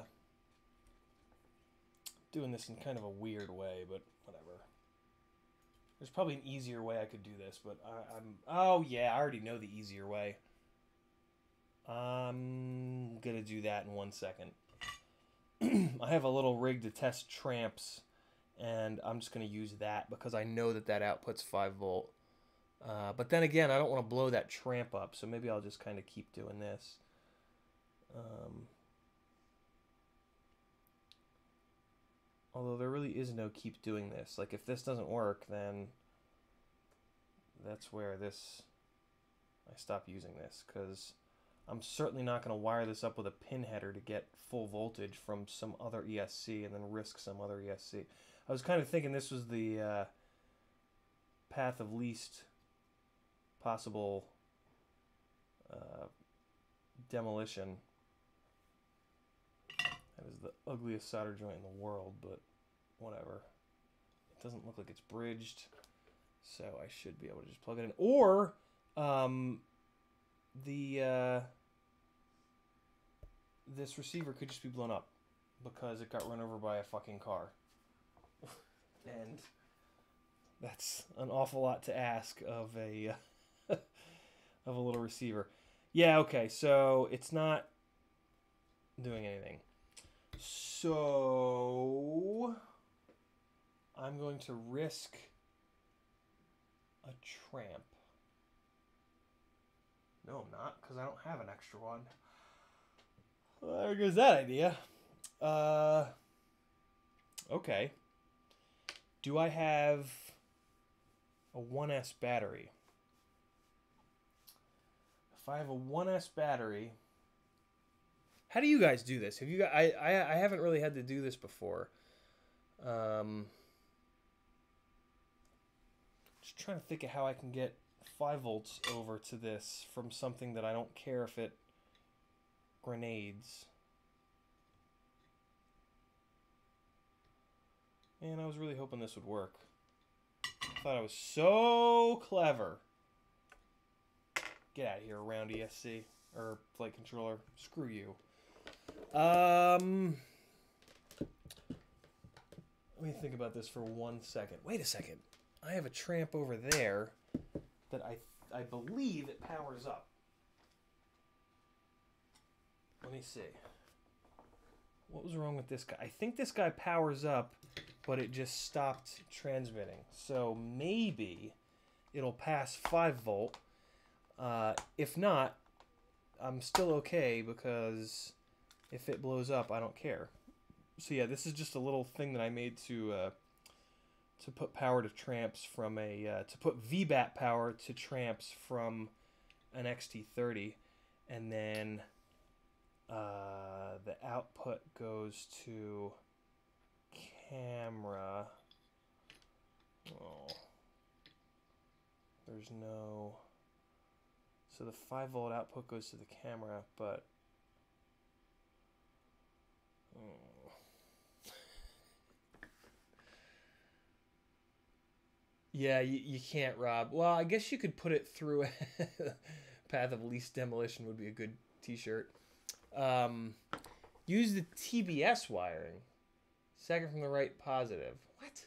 What TBS wiring? You mean the uh, the full voltage that goes to the VTX?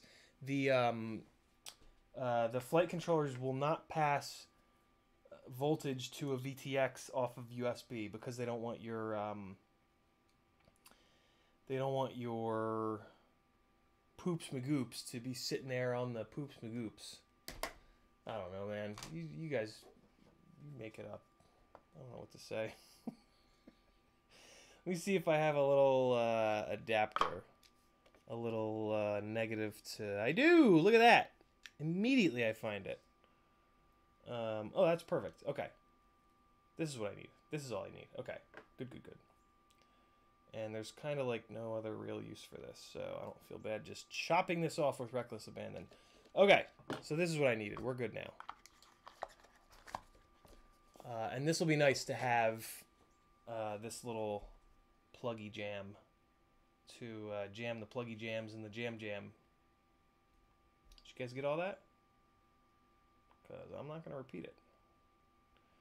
Okay, so let's just get this going here. Do I have the camera back on the bench? I hope. Nope, not at all. There we go. That's better. Oh, a USB cable. Well, I'll be damned. That's what I should do with the ones that only pass power. Uh,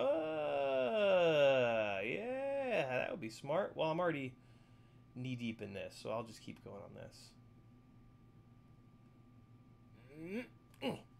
All right. Just tin these up super quick just for the sake of not having problems with them sticking to pads. Alright, get in there. Come on, I just just go. Yeah, there we go. Good enough. And yeah, it's all over the wire. That's fine. Good enough. Okay, off we go. This plugs into here. And now I've got a nice 5 volt out source as soon as I plug that in. So now I'm going to take, uh, might as well do the VTX because it's in my hand. So let's just take wire to wire. Herp derp. Doesn't have to be pretty, just has to make connection. Yep, good enough. And then let's get this little fella over here. Probably fine. Ah, you bastard, you. Ah, they both fell off. Alright. I like doing it this way better anyway.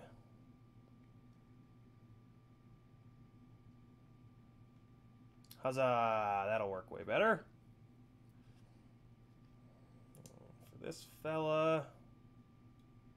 Get him going here. Come on. Come on.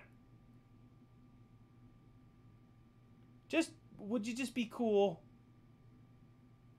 Come on. There we go.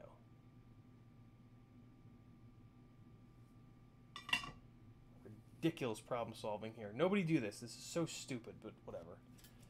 I'm in. I'm doing it. Here we go. Let's see if this tramp works. Should I send the tramp 6S? Is that is that a good idea? All right, fire in the hole. Ah, I think this tramp doesn't work. I don't think this tramp powers up. Oh, it doesn't.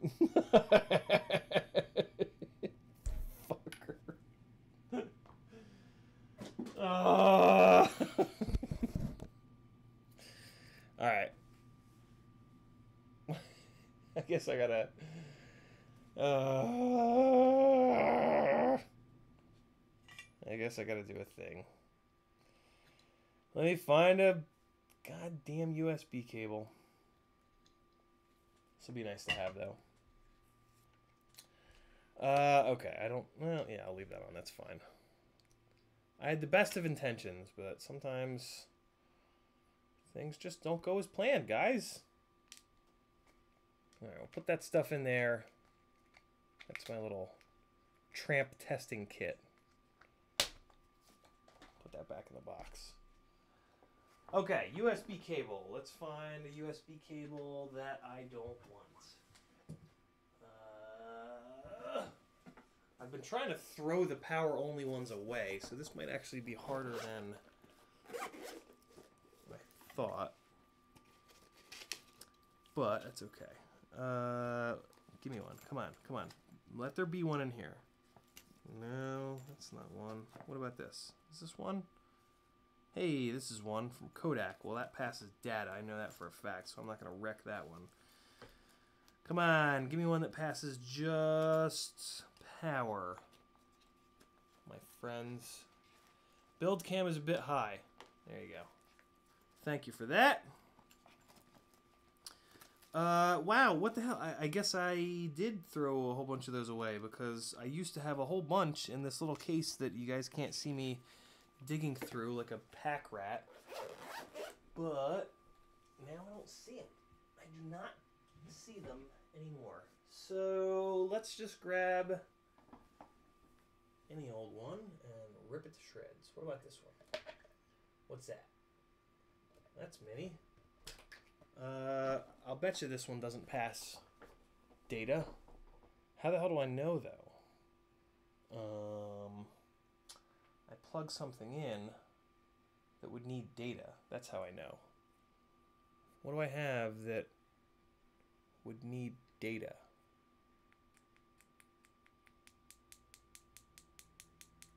Is this how it works? Is this it?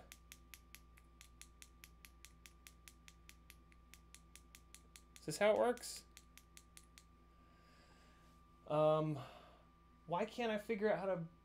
Uh, why can I not figure out how to figure out if this pat? Uh, you know what? I don't care. Look, now it's it's ruined, so I can't worry about it anymore. Well, actually, I'll know in a second. Hey, look at that! Only passes power. That's how you find out. You just cut it the fuck open. All right, here we go. Here we go. Here we go. Eh, eh, eh, Get it, get it, get it, get it, get it. You're going to be a jerk to strip, aren't you? Oop. Might have gone a little deep on that one. Yeah, a little bit. Yeah, be alright. We'll be alright. It'll be fine. It'll be fine. No big deal. Well, it's not great. I didn't do a great job here, but it's going to be alright. Shit'll buff out. As long as I keep these guys separated. And I will just pour solder onto them. Okay, here we go. Time for a bunch of solder. Can't go back now. All right, let's get nasty with the solder. Let's just dump it. Solder dump time. Taking a solder dump. There we go. That looks awful. It's the greatest. All right. They're all soldered up, so in theory they won't um I just didn't want like a strand coming from one and touching the other. Okay, so I don't know which one is which. Uh, that's not good. Okay, so the red one is there. Cool. So red is towards me. And let's hook up this guy first. Let's hook this little fella up first here. Well, this extreme amount of solder I put on this should make tacking these little guys on here a joke. Oh, yeah, look at that. Oh, that's wonderful. That's just terrific. It didn't stick at all. Probably because the tip of this iron is so dirty.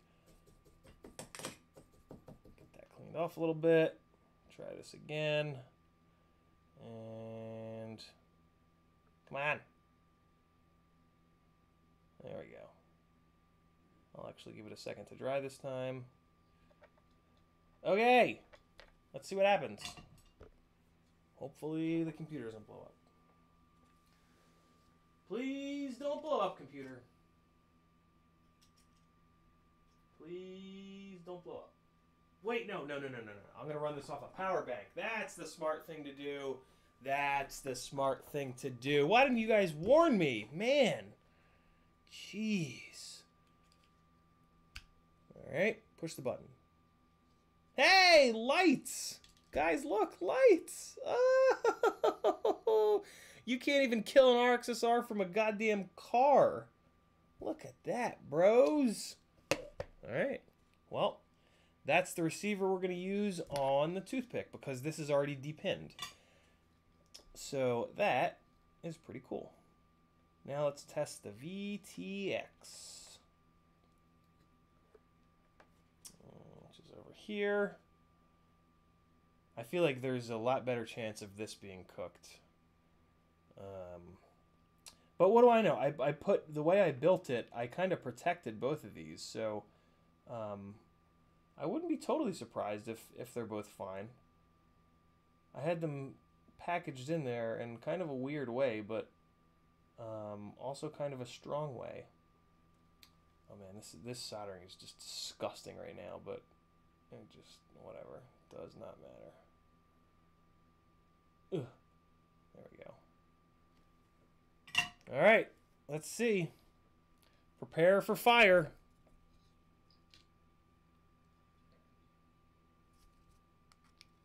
Mm.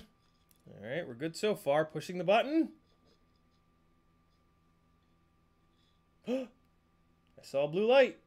I see a red light. Blue and a red light. Wow. That's impressive, man. That is impressive. It's 7 o'clock already? What the hell? What have we been doing for the last two hours? Uh, this is from the Wemix, Rob. Yeah, you got it, man. Um, cool. Well, that's the end of this little project. Now I've got a VTX and a receiver for the toothpick build. Now I just need a camera. uh, yeah. Well, shit. That's really good news. So the Wemix didn't fully implode. Uh, just, you know, just mostly. This is what the uh, the little toothpick builds are gonna look like. I've I I don't know. I, I got all antsy watching TV the other night, and I pieced two of them together because there were enough there were enough of the motors to piece two of them together. But uh, yeah, one of them is gonna look like this. Uh, this is the Beta FPV board, and this is I want to say a Mamba board. Uh, so yeah, one of them will be HD, the other one will be um, regular FPV cam, and that'll be fun. Great little frame. Super impressed by this frame, man. Anybody, anybody who doesn't buy Bob's uh, TP3 frame and gets one of the clones is really missing out because um, this frame is is really well made, really well thought out. Um, there we go, man. Look at that. RXSR in there. Freshly deep, well, not freshly depinned, but um, has been depinned. And there's a mystery VTX. I want to say it's an Eachine Nano, but I'm not 100% sure. Certainly looks like it, though. Okay. There we go. We're getting some shit done. ladies and germs. What's next? I get a drink. That's what's next. I know, right, Rob? I, fuck, I learned something today too. I learned the same thing as you did. Um, all right, what else is on the? Okay, yeah. So let's work on the giveaway rig. Uh, man, it's it's. I'm I'm super happy that you said that, Tiago. It's really nice to have a a little five volt power source here. This is. Um, I could probably cut it shorter, but farg it. I'll just leave it. Uh, yeah, I want to get this. Uh, I want to get this guy going. So, uh, if you guys would like, instead of just diving into this, uh, I can bring you guys on the journey of troubleshooting a bad dipping arm. Uh, but you guys got to tell me that you want that. So, if you want me to, to take you guys through how I troubleshot this, which will probably only take about 10 minutes, um, the problem is it was uh, dropping an arm a little bit, but only on very. It, it, it's an interesting troubleshoot because it was only dropping an arm in a very specific situation. And I have the HD, and I can show you that, and I can show you guys my um, the path that I went through to troubleshoot it in my head. Uh, also, it it kind of shows why on a fresh build you go out and you do flips and rolls in each different direction. Um, I know that sounds kind of cryptic right now, but yeah, put in the chat if you want me to talk about the troubleshoot, the process of the troubleshoot, or if you just want me to pick it up from here and start soldering, basically. Uh, if you want the troubleshoot, just type the word troubleshoot in the chat. If you don't want the full troubleshoot, type the word no in the chat. And uh, yeah, popularity wins, yo. Democracy up in this motherfucker. Okay. Um, pretty sure you guys are gonna want the troubleshoot, so I'm just gonna start. I'm just gonna start getting that ready. Uh, move the Acrobrat a little bit here. Eh, fuck it, I won't move it. Uh, so I need the memory card out of the GoPro Hero. Okay, everybody wants this troubleshoot anyway. Uh, okay, so let me come over here to System. All right, put this over that just so that you guys get a little bit less inception. There we go. Okay, so let's see if it's on this memory card. It might be. Uh, nope, this is not the memory card. So let's spit this one out. And let me grab. Oh, you know what? It's in the camera, which is on the uh, quad. Get out of there. Of course, I hit the power button. Think I've ever taken a hero out of the mount without hitting the power button. Okay, here's the right memory card, I think. Maybe. Yeah, it's the one. That's the one. So, fresh build or build that you're troubleshooting. Take it out. And you start flying it around. If it doesn't seem quite right, uh, go back to basics and do the basic stuff. Flip right, uh, flip forward, flip backwards, roll left, roll right, yaw hard left, yaw hard right. And um, you're you're initiating those as sharply as you can. You're jamming the stick up or down or left or right. And then you're returning to center as sharp as you can as well. And one of the big reasons that we're doing that is to pull out, is to force the motors to do as much work as possible. Uh, at the end of the flip and roll, flip and or roll, uh, the motor has to go really hard to stop the quad. Well, two of the motors have to go really hard to stop the quad. Um, and let me actually show you guys that with a little model here. So let's come over here. All right. So where's the front of the quad? Front of the quad is okay. So we're gonna nose down. So we come up, we do a right roll. Right roll like this. At the end of the roll, these two right side motors have to fire up really hard, pretty much to full, to stop this thing straight because you're jamming that stick, you're holding the stick over and then you're jamming it back to center. So all that momentum that's built up, it has to stop. So it'll fire both of these motors to whoop, to stop that thing really hard. It doesn't even have to be level. You can stop it sideways. It doesn't matter. It's just when you bring that stick back to center, these two motors have to fire really hard to get it to stop rotating. And then you do a roll on the other side and the other way. And the same thing happens. To stop that rotation, the opposite motors stop, uh, fire up to full blast to stop all that momentum. Then you do a front flip.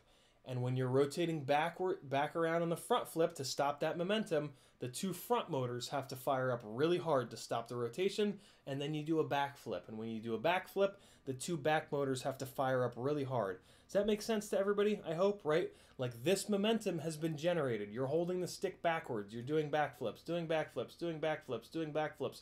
As soon as you jam that stack, stick into the middle, if the back motors don't fire to prevent to, to generate lift to stop that backflip, right? This is the this is the backflip motion. These need to generate lift to stop the the rig in place, and that makes them work really hard.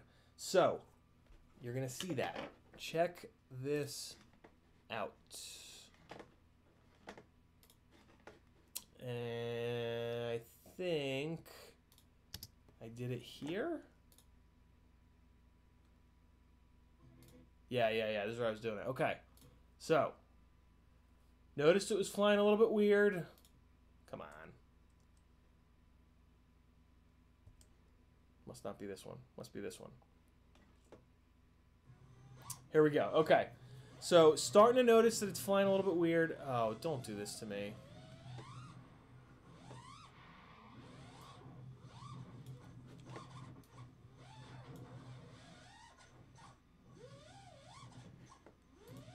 Not going to play it.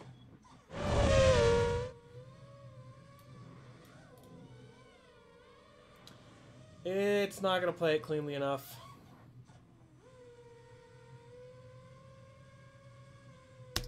Forget it. Okay. Um, so we'll just talk about it in the hypothetical. Um, basically, what was happening is I would do a left roll, everything everything would be fine. I would do a right roll, everything would be fine. I would do a front flip, everything would be fine. I would do a back flip, and at the end of the back flip, it would dip an arm really hard, and it, it ended up being the left rear arm. So basically, what was happening is when I was doing the back flip, that's where the majority of the weight is. So it's got a lot of weight that's coming around and a lot of momentum. So both of these rear motors have to create a whole bunch of thrust, a whole bunch of upwards thrust to stop that backward flip rotation. And in doing so, the left one could not generate enough thrust quickly enough, and it so it would dip down and it would drop down. Um, sometimes you can also see this when you do throttle blips. You'll do a throttle blip and one of the and the whole thing will jump up, but one one side will lag behind, um, and that that is this isn't the rig, but um, that's an indication that something is going on in that corner. The corner that's dipping down, it's not keeping up with the rest of the rig. Something's going on there. It's either the motor or the wiring or that channel on the ESC.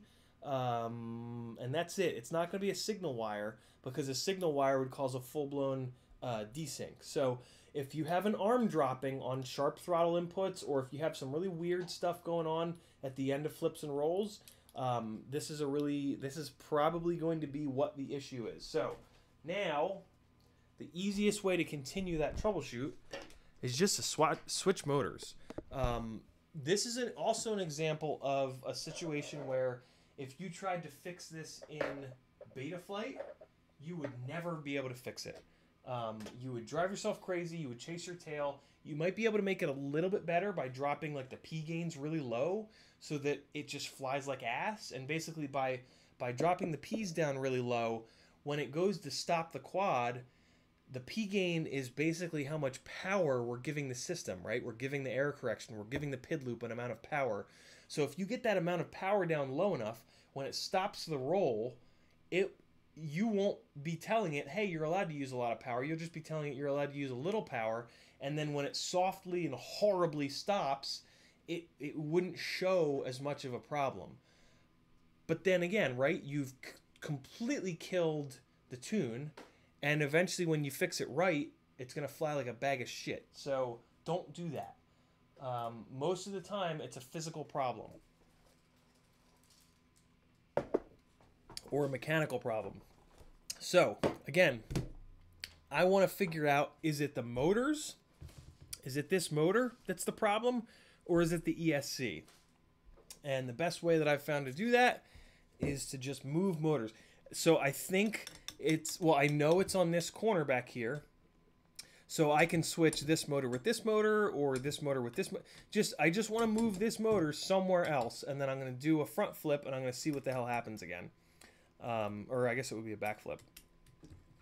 Does that make sense to you guys? If that doesn't make sense, um, post a comment, and I'll explain it in a different way. All right. Let's get this going here. So yeah, that's where I'm at, and I'm just gonna move uh, the back motors because why not? They seem to be mounted in the same way. The wires seem to be the same length. Um, so it should be totally fine. Although they are kind of like angled in a way. Maybe I'll swap this front motor. See, but the front motors have a little bit more uh, wire on them. Hmm. Yeah. I'll try to swap the back ones. We'll be all right. Back ones will be fine. We'll be fine. Uh, Daniel Maurer just says F. He just he's just going with one letter. One letter comments today. Dan, have you seen uh, have you seen the imposter in a while? I think you're the only moderator I've seen in here. Oh no, no, no Tiago, Tiago or uh, or Daniel. Have you guys seen the imposter in a while? I haven't, but I don't know if the imposter tags me, so maybe that's why I'm not seeing him. I want to see how he's doing, man. I want to see how his uh, how his birthday was on Friday.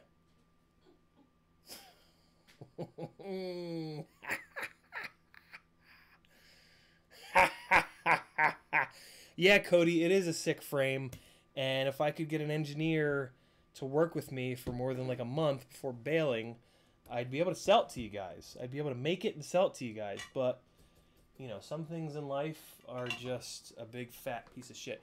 Let me go get this uh, sponge wet. Oh my god! Look at that. Taking a break. When do you want me to jump off? I still have to work on the website a little bit more, so whenever you want. Doesn't really matter. All right, our sponge is wet. Our faces are smiling. Uh, McStar Coin asks, "Do you know some good motors for a Gecko frame three inch?" I do. Uh, if you're gonna fly that freestyle, you want to get Emax's 1306 4000s, and you want to run those on 4S 450s. That is currently my favorite micro brushless setup of them all. Um, it flies as close as we're ever going to get them. Well, no, I shouldn't say that. It flies as close as we can get a micro right now to a 5 inch rig. And it also crashes really, really well. So um, that'll be a good test for that frame. I, I, I don't love the way that Armattan cuts their frames and the and the direction of the carbon that they've got. I think that um, one of the reasons why their frames break all that's the big reason why their frames break all the time because they don't cut the carbon uh, with the weave going the length of the arms but I'm just a guy. What do I know, man? I don't run a successful business. But Daniel can probably back me up on that one. Uh, NYX says, Ciotti FPV, what do you think would cause a slow bobble on a snap flip on pitch? Slow bobble is uh, potentially a lack of P gain.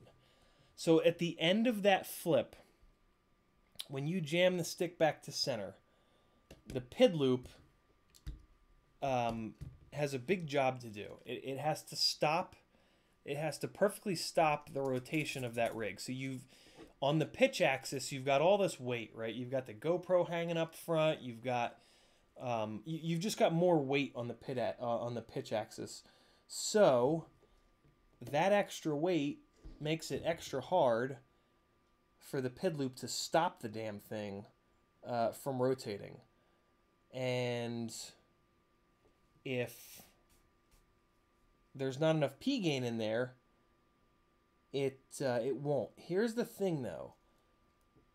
E- on a stock tune, it, it depends, but on a stock tune, usually there is enough P gain. So unless you've got like a wacky setup or you've um, backed the tune off of stock, then it might be the same issue that I'm dealing with here.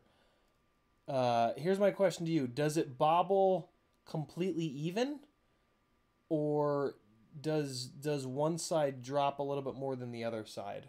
That's going to be the easiest way for me to figure out um, if it's a hardware or a software problem. Basically, I mean that, that's essentially what we're talking about here. Is where do these problems lie? Right? Is it in the software? is it in the hardware? Um, I know I say this a lot, but it's so important and it's so misunderstood misunderstood that most of the problems are on the hardware side. I know that sucks because that's not free to troubleshoot, but uh, it's the truth.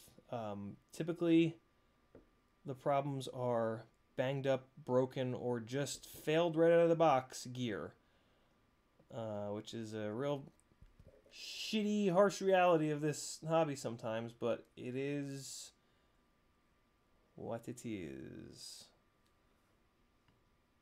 It's just a part of the game.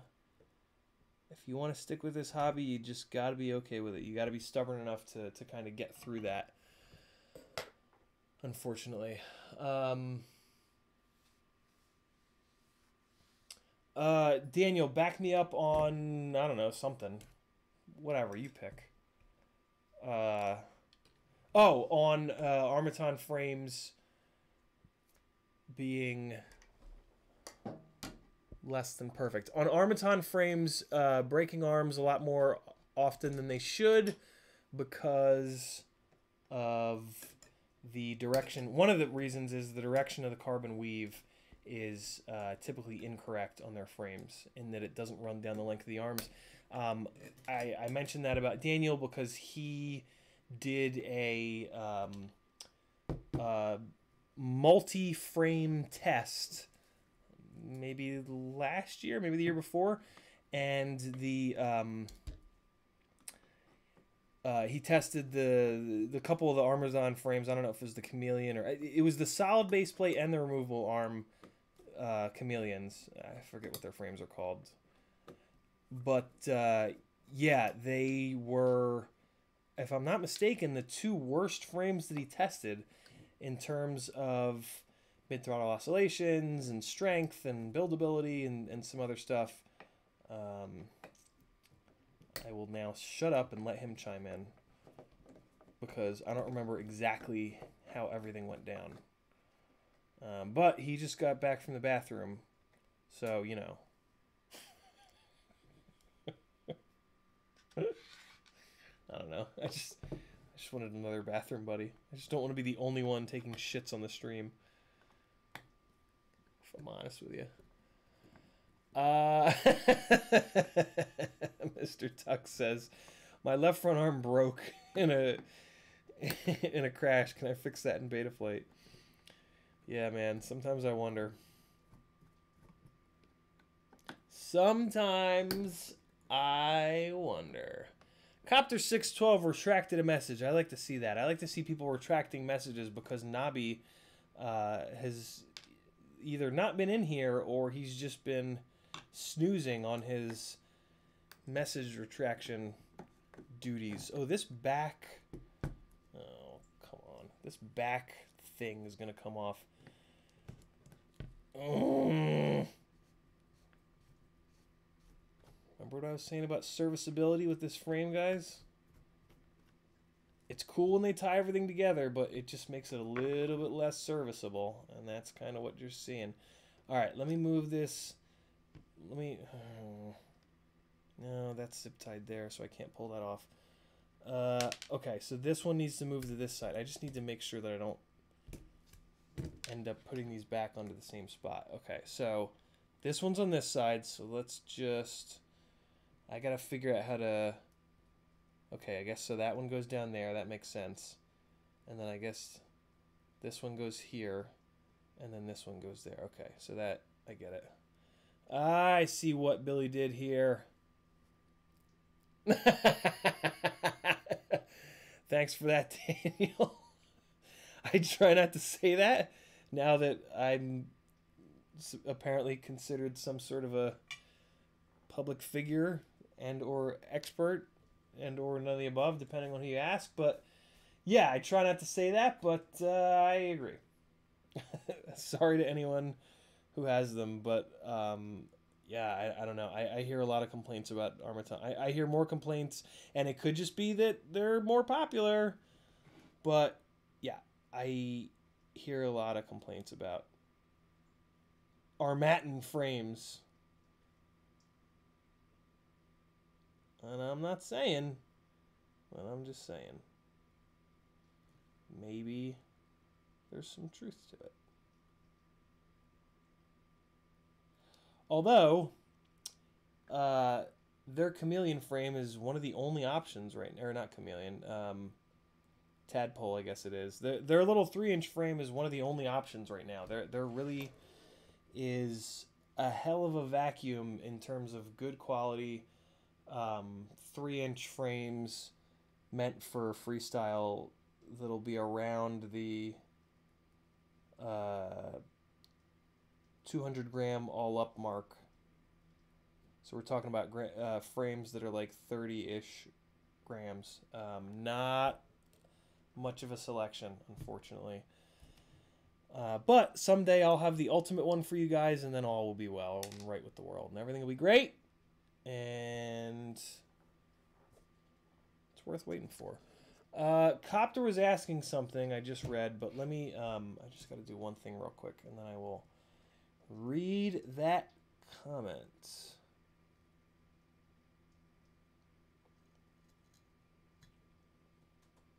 Yeah, I missed that little message retracted.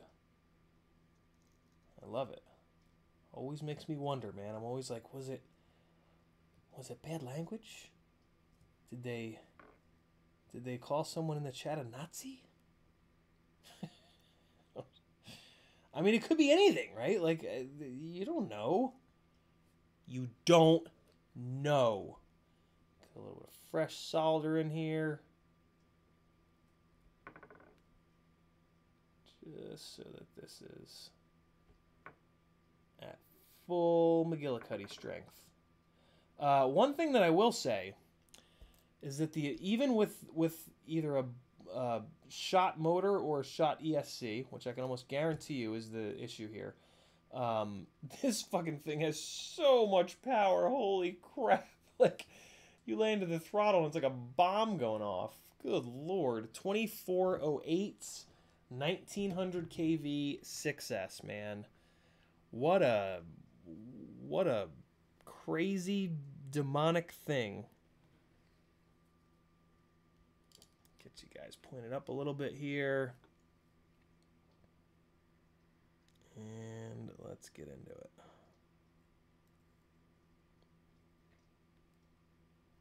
Come on, transfer that heat, yo. Oh, I'm getting burned. Yeah, good to go. So now we're gonna bring this middle one down I think is how that goes, right? Uh, right. We're gonna bring that middle one down here. Okay. Should be long enough, right? Yeah. Yeah, that's gonna be long enough. There we go. Okay, middle one. Coming down. Please reach. I don't know if it's gonna reach. Oh god. What was that? Yeah. Um. Hmm.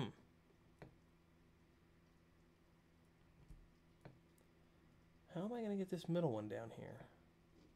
Does it just go over that like that? Is that it? I think it just goes over it like that. Let's check the bottom, make sure all's well. Okay, yeah, we're good. Um, yeah, I'll just drop it down like that. That should work. That should be okay. Um, nah, what if I run it down the side? Maybe I should run it down the side like this. Is that the, the, the hot move? I think that might be the hot move. Run it down like that. Yeah, that's what I want. I think. I don't know if the motor's going to want to bolt up, but I'll deal with that in a second. All right, that one should be good. Yeah.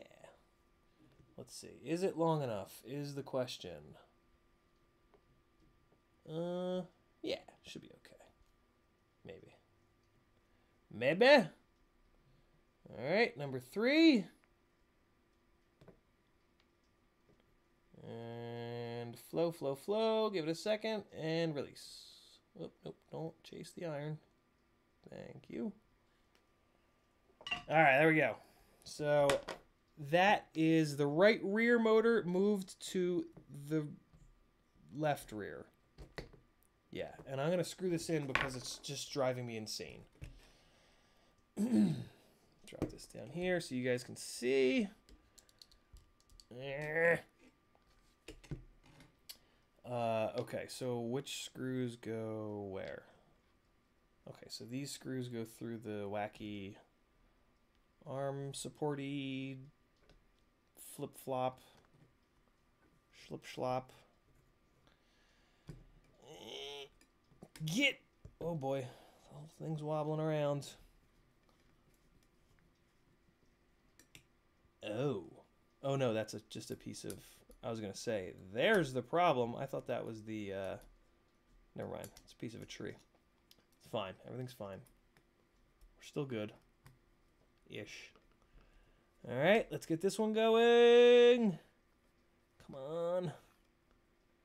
Get in there. Would you just come on, just get get in there. Yes. okay. Two screws secured. Uh, where are the other two? Well, there's one. All right, there's one. And there should be one more short one. Yeah, there it is.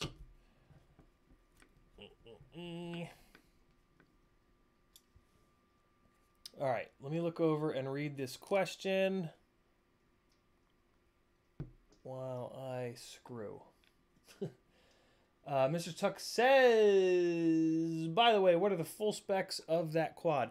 Uh, this is a Raceflight Cricket board, uh, uh, flight controller running Betaflight 4.1 with RPM filters and all the good tricks.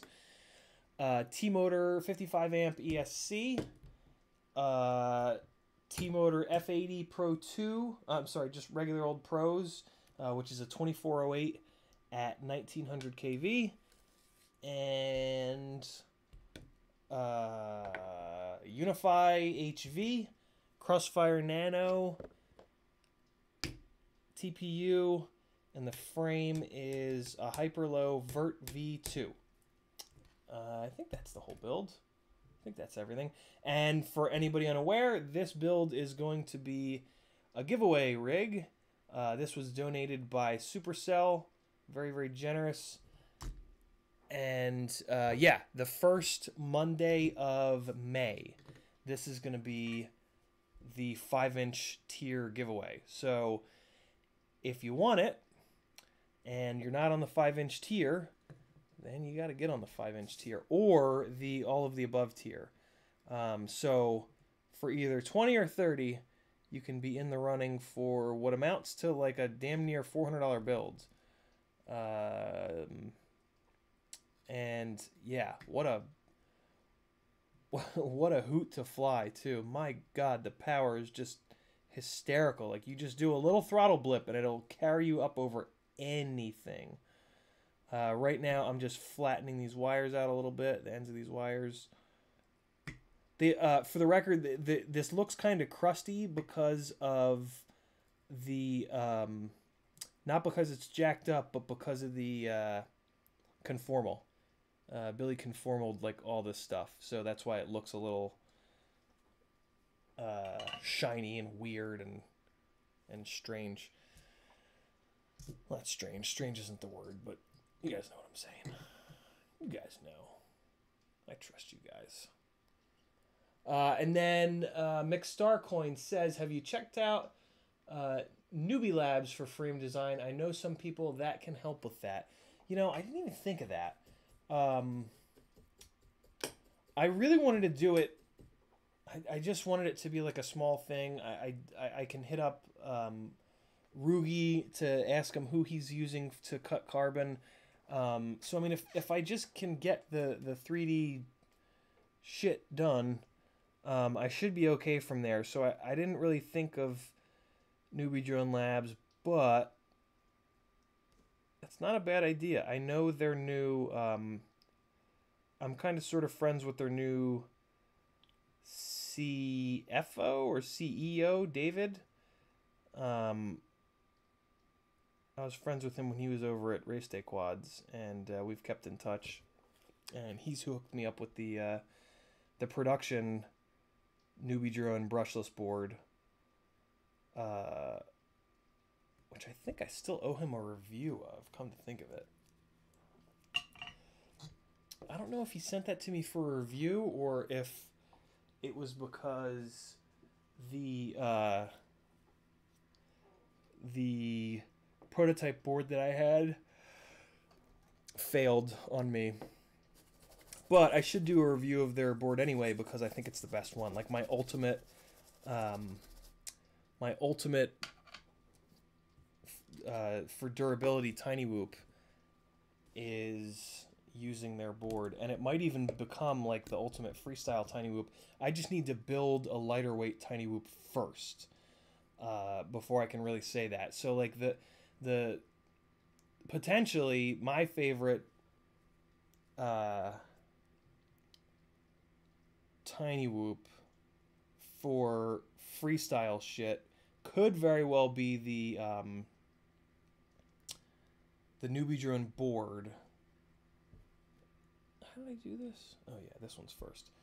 Uh, along with the the cockroach frame and the NewBeeDrone camera and canopy, but I want to build this ultra lightweight version uh, with the Beta FPV lighter weight flight controller, and I gotta figure out what I'm doing for a camera and a VTX on it. That's those are really the only holdups.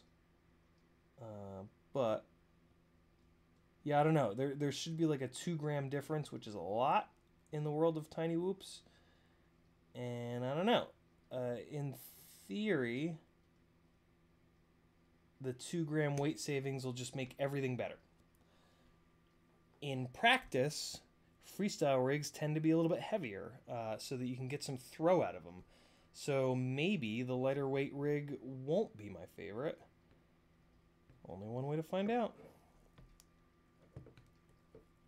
So yeah, once I figure out what the hell I'm gonna do about a camera on the um, on the beta FPV rig, uh, I will be able to get that build done and see what's what. I was uh, I was hoping that so uh, tinywhoop.com, Jesse Perkins has a new lighter weight uh, FXT camera out. And there are there are supposed to be canopies coming for it, but no like arrival date or anything like that. Uh, so and, and I've kind of been wait like they've been supposedly coming for a while now. And I'm kind of like, well, I mean, how long can I really wait here? Uh, I also don't know if they're gonna take up take the abuse. The those uh, those tiny whoop canopies are great. They're super lightweight. Uh, there's a lot of things I really like about them, but now with the brushless motors, uh, the collisions that that my tiny whoops are taking are vicious and they're very very different than they used to be. Um, and i've already broken two or three of those canopies in my tiny whoop history. So i don't know. I don't know if the the new tiny whoop canopy will hold up. I would love it if it would because i can almost guarantee you that their little camera solution and that canopy is going to be the the lightest. So it would be cool to have like kind of top to bottom the lightest possible ish setup.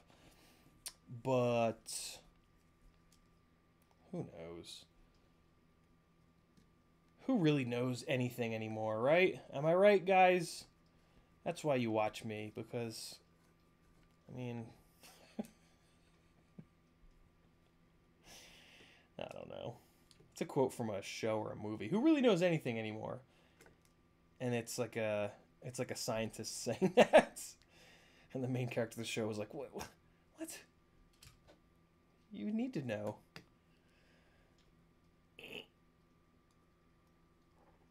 Oh, McStarcoin does professional CAD work and is interested in helping. Free of charge, of course. McStarcoin, let's talk, man. Hit me up on um, whatever's easier for you. Facebook Messenger, Instagram Messenger, uh, Patreon Messenger if you're on there. Um, yeah, dude, let's uh, let's talk because I have all the ideas and I have frames that look a lot like what I want. Um, I, I just need it in 3D software with the modifications that I'm looking for, um, so that it can be cut. So yeah, hit me up, dude. That's uh, very very generous of you. I really do appreciate that. Um, and yeah, maybe the community will have you to thank for a, the best three inch frame in existence. So that's it. We're done. All we had to do was uh, was move the motors left to right, and it's raining out, so I can't go test it. So I will now put this aside and we will move on to the next. But hey, one step closer to having this thing. Uh, once I, I just kind of a little tiny bit started to tune this, but with that with this left rear corner being weak, um, it's just not it's it's just not a good situation to be tuning because what the PID loop will do is it will limit uh, the output from the rest of the motors. So the basically what happens is the weakest motor wins, and the PID loop makes all the other motors as weak as the weakest motor. Um, yet another reason to fix hardware problems with hardware fixes rather than software fixes. Um, but yeah, so that uh, trying to tune while the whole system is limited is kind of pointless because as soon as I fix the hardware problem, the whole rig is going to have more power and that's going to potentially invalidate the entire tune. Um, or it's going to blow the, the ESC up because, in theory, if you're tuning with a system that's limiting itself on power um, and you crank the tune up enough to get around that, and then you fix the problem and the whole system has more power, all of a sudden that's going to just, um, you know, with, with the same tune, it's gonna the, the tune's gonna be too hot basically uh, because the tune was set up for a system that had less power and now when the system has more power it's going to be too much. Um, oh yeah, here's that other one where it broke off. Yeah, so the same thing happened to this other um, AK32 ESC. Yeah, there's supposed to be a a separate PCB here, and it's it's held on by these six solder points, um, but on a apparently on a really hard flat bottom, uh, you can generate enough G-force to rip that thing off. So yeah, I think what I'm gonna do is just run a bead of uh, of epoxy around the outside of this board. Oh, look at this tiny little fly. Ah, look at that little guy. Look at him. Yeah, he's so little. He's coming towards us.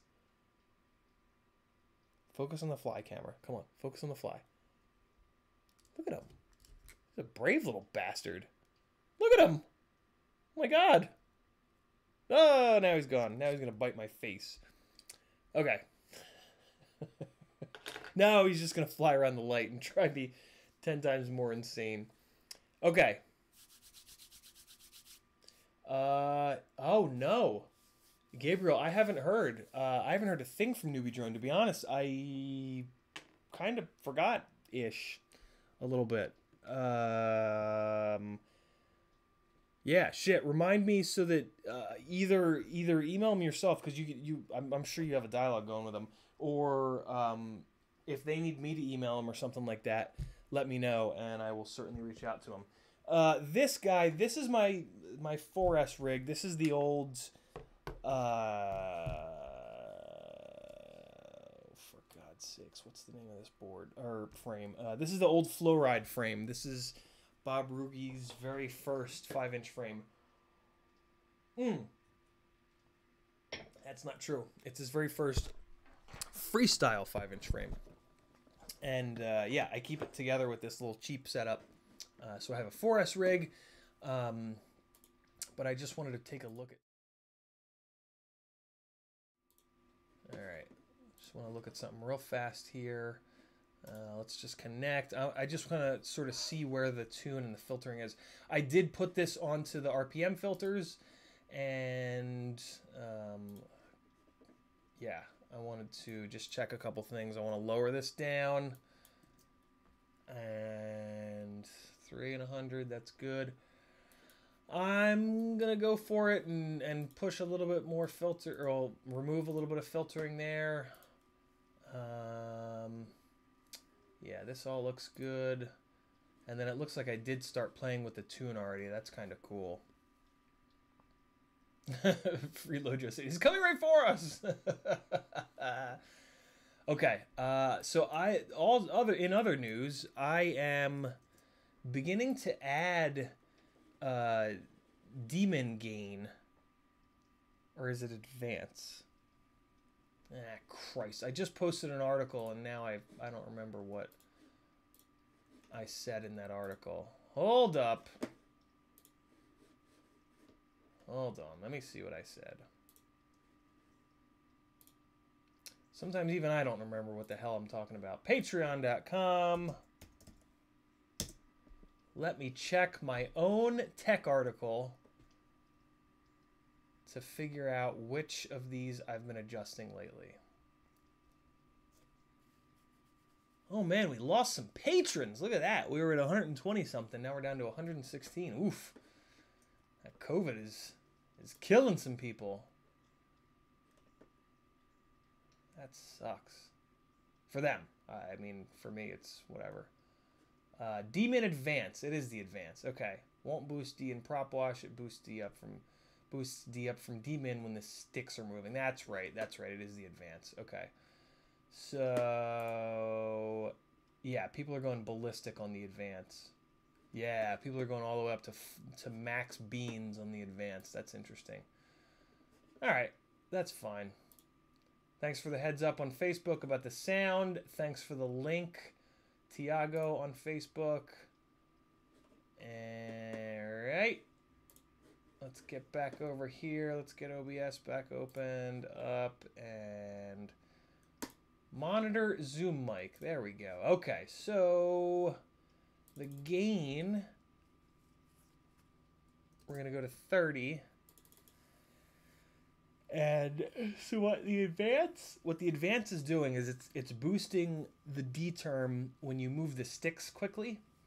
And what's cool uh, what's cool about that is is it acts as stick smoothing. So I'm actually going to go up to 50.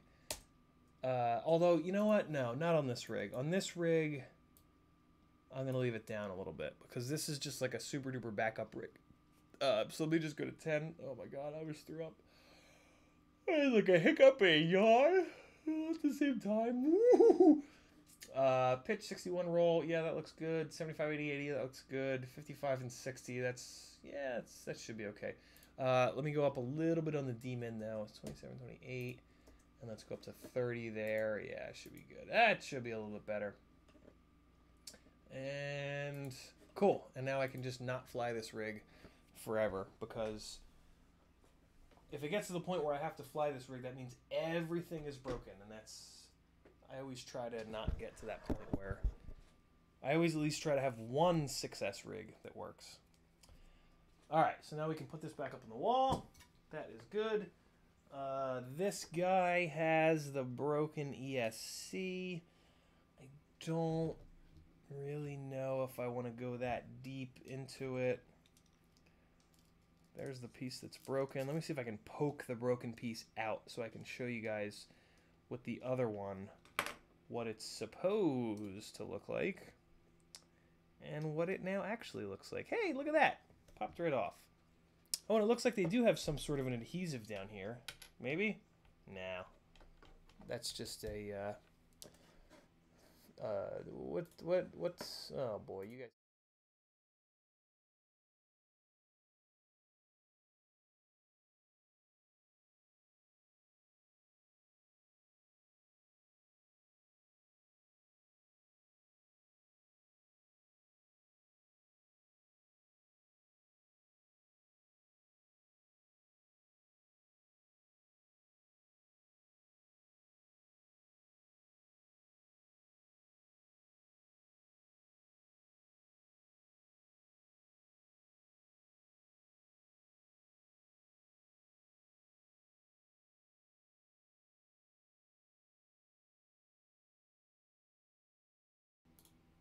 All right. So for the record, last week we thought it was dropping the OBS was dropping the mic because of the transmitter and I just proved that wrong because it for absolutely no reason just dropped the Zoom mic.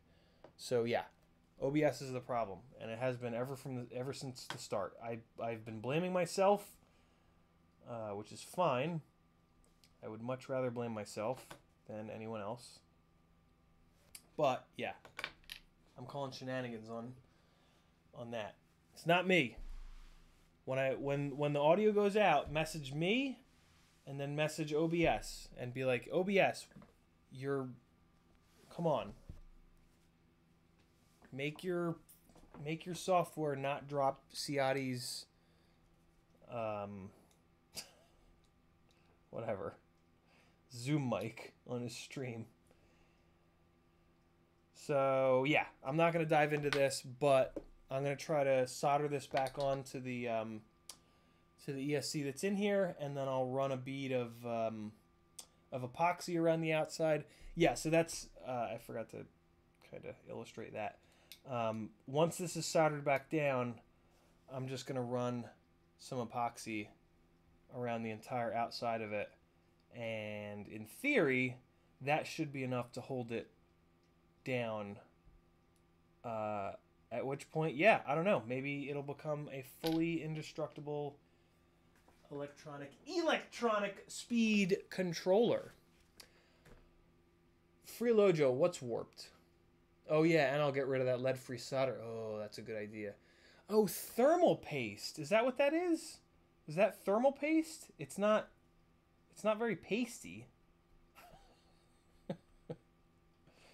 I thought thermal paste was a um, was like a metallic silver.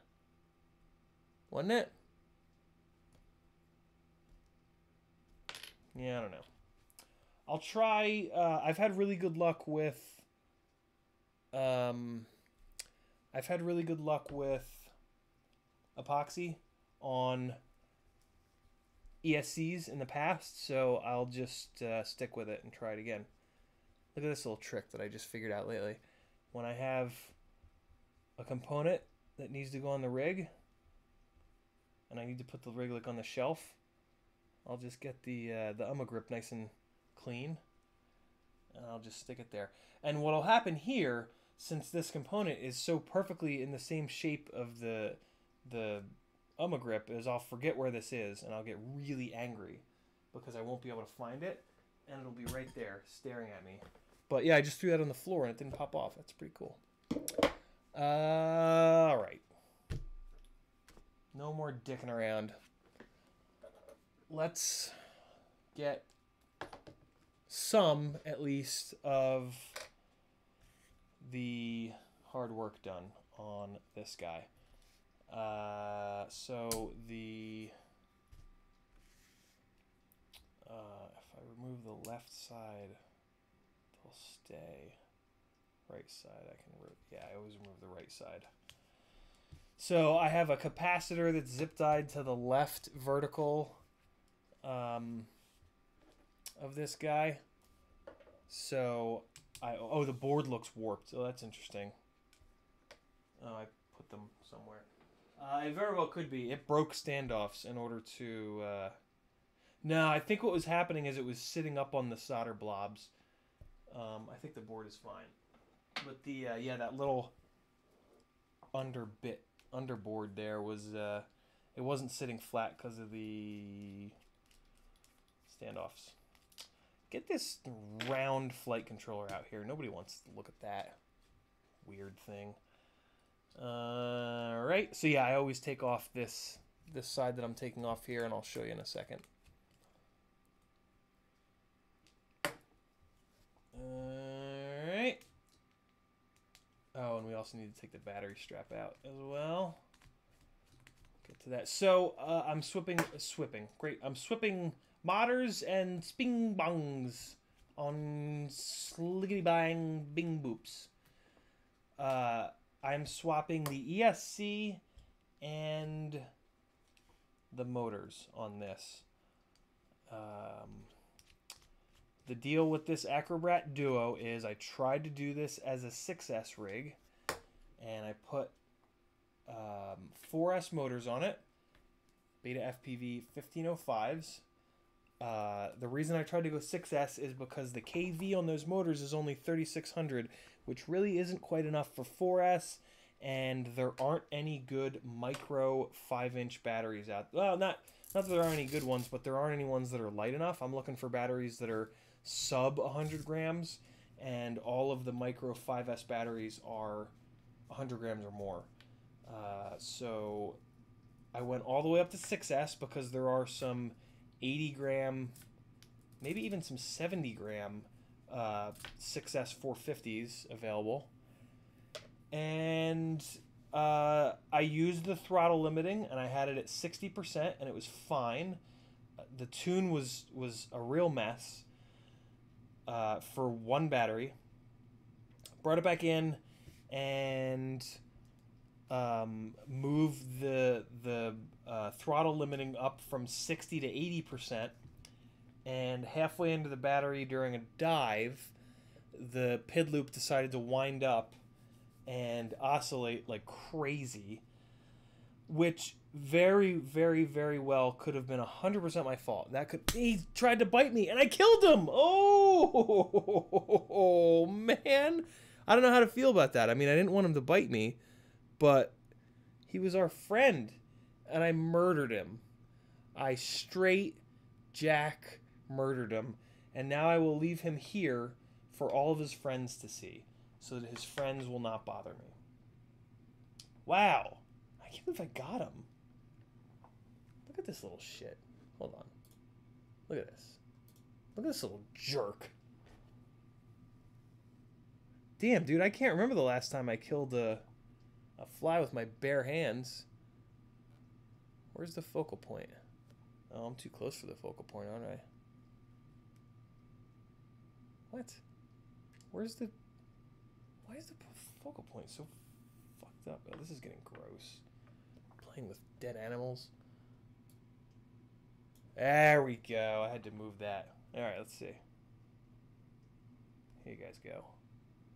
There he is. Look at that poor little bastard. Ugh, it's gross. This is the hand that killed him. A message to all you flies. Get out of here. I'm going to put him in the garbage can. Give him a proper burial.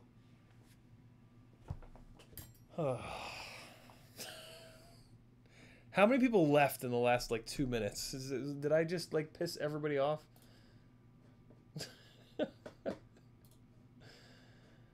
uh, tape it to the ESC. Done. What?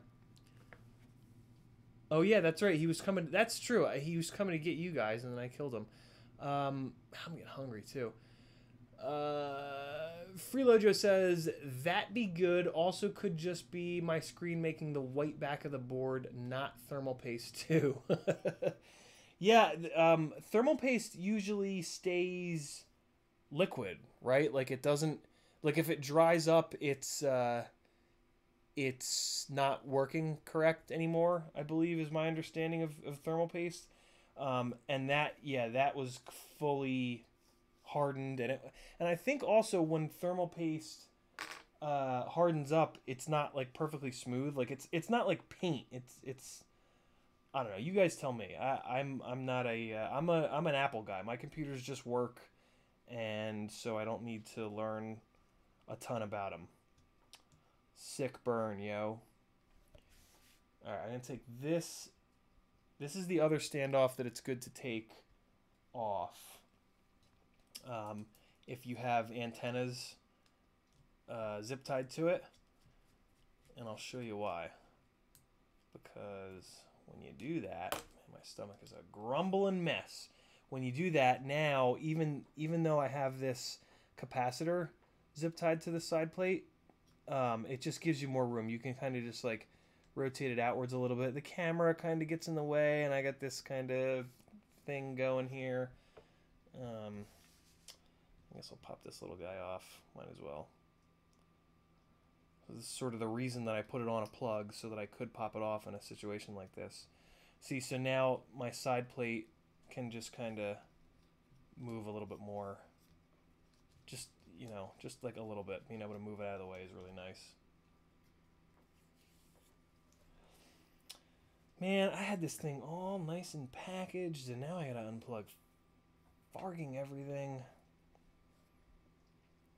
Um, if you don't know, these little plugs, these little pin header plugs, uh, do not have many plug and unplug cycles, life cycles.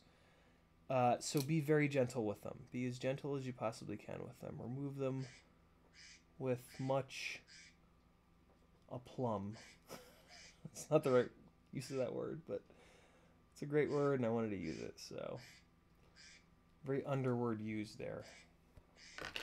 Shut up, phone. Wow, it's 8 o'clock. We've been streaming for three hours? What the hell is happening here? Well, I mean, you guys have been watching a stream for three hours. I've probably only been streaming for about two and a half because I was shatting. I was shit shatting. Shat shitting. Hey, there we are. Uh, yesterday, got out and flew with the fellas. Uh, we had a, a wild schizo. Um, we had a wild Kevin. Kevin is is is almost as wild of a of a unknown rare beast as as schizo nowadays. So that was cool. Sean came out. My buddy Patrick pa- came out. Um, my buddy Patrick also saved my ass this morning by giving me a ride out to Kristen's car so I could change her tire. For anyone that hasn't checked my Instagram for the lovely picture of the exploded passenger side front tire on our only working car at the moment, our little Mazda 2. That was a fun little morning. That's why the stream was a little bit late. but That's okay. Eh, come on. sometimes I have better luck getting this. So this so what I do here is I put a little blop of uh, welders on the top of these guys because it, it just it does a really good job of connecting the the M3 shaft on the inside to the actual plastic nut and it makes sure that they don't back out. What's up, lovely woman? I'm hungry. I am hungry too. Um, my computer has to charge. Okay. So I'm gonna make dinner whenever you're ready. Can you make dinner right now? It will take five minutes to make. Oh shit, guys! You're gonna have to listen to me chewing five minutes from now. Uh, or what I should do is go. I mean, I and relax. eat, so it's really up to you. All right. Um, what was it called? Fix all the things. All right. Here's what I'll do. I will chop this stream in five minutes when dinner is ready. My beautiful, talented, kind, caring wife, who you guys should also all love because she's the only reason that I managed to stay alive.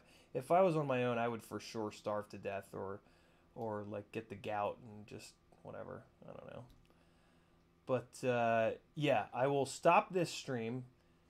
Everybody can go get some food, and then I'll do.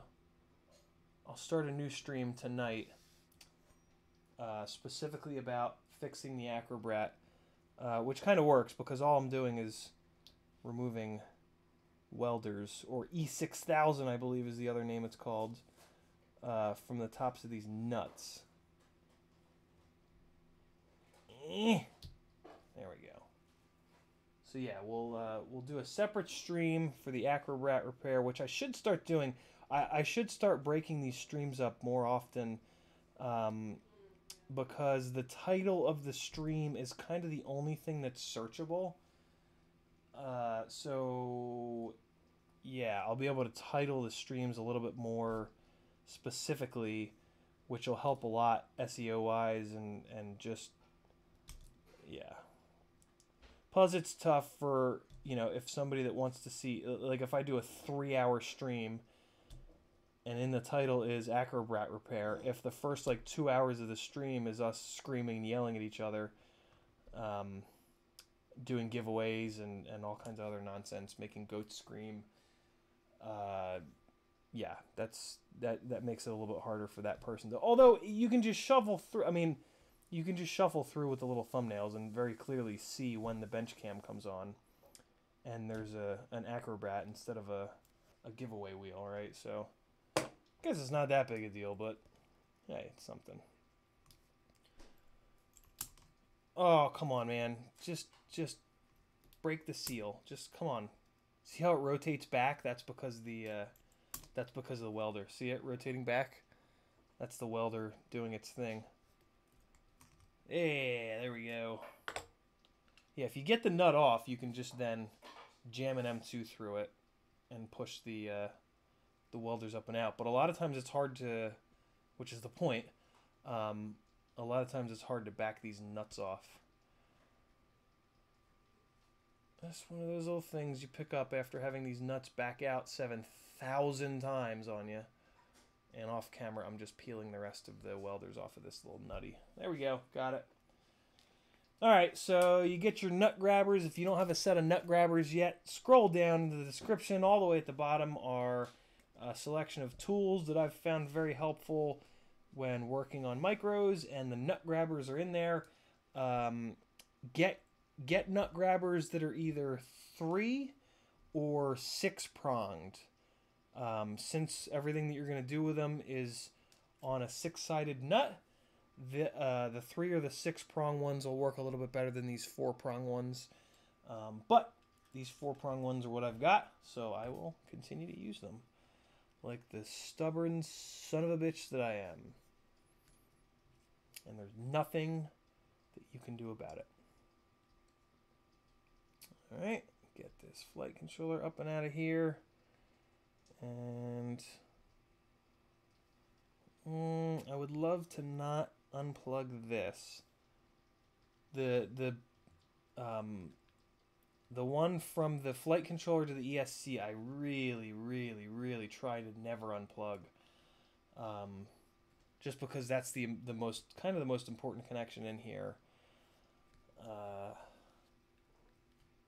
so let's maybe maybe I'll have enough room to leave it plugged in here.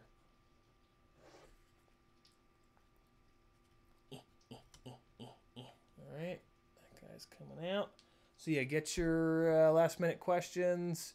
Freelojo says he just got a hybrid 2. What VTX and goggles do you use? In here, I have a Rush Tiny Tank. I don't love it. Um, there's a couple things during the setup process that I that really kind of annoyed me. Uh, I am thus far, and and my uh, TBS Nano Pro 32 is giving me problems in the V1 Acrobrat.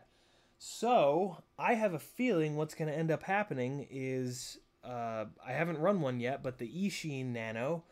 So I have this like history with Eachine VTXs being indestructible and just generally working incredibly well. And uh, I have a feeling I'm going to put some of these Eachine Nanos to to work and they're going to be awesome. Uh, I've heard that from other people, and yeah, I don't know what it is. Eachine just seems to be able to make really good video components. I had a set of their uh, $60 goggles, and they were like shockingly good uh, for a long time too. They they I beat the hell out of those things, and they were I mean as much as you can beat on a goggle, but they were good from beginning to end. So I don't know, man. I'm I'm super bummed out that the that the TBS Pro 32 Nano uh, is just like on its way out. And but I don't know. It did get there was a situation where it got kind of hot. And I know TBS talks a big game about that not mattering and and you know, they built uh, stuff in to drop the power down so that their VTXs don't burn themselves out. But I don't know, man. I hear an awful lot of people talking about how their Unifys blew up. And hey, maybe that says something. Maybe it doesn't. Maybe people just be blowing stuff up. Totally a possibility. But yeah, I don't know if it was really turning the uh, the power down. Wouldn't they not overheat? Yeah, yeah. Hell, I mean, for all I know, maybe the Nano doesn't have that same whatever built in. Oh, I forgot. I set these up to be kind of soft mounted, didn't I? That was stupid. Did I? Think I have rubber under these and I set them up so that they'd have a little bit of give. Yeah, I sure did. I sure did. Oh, that's fine.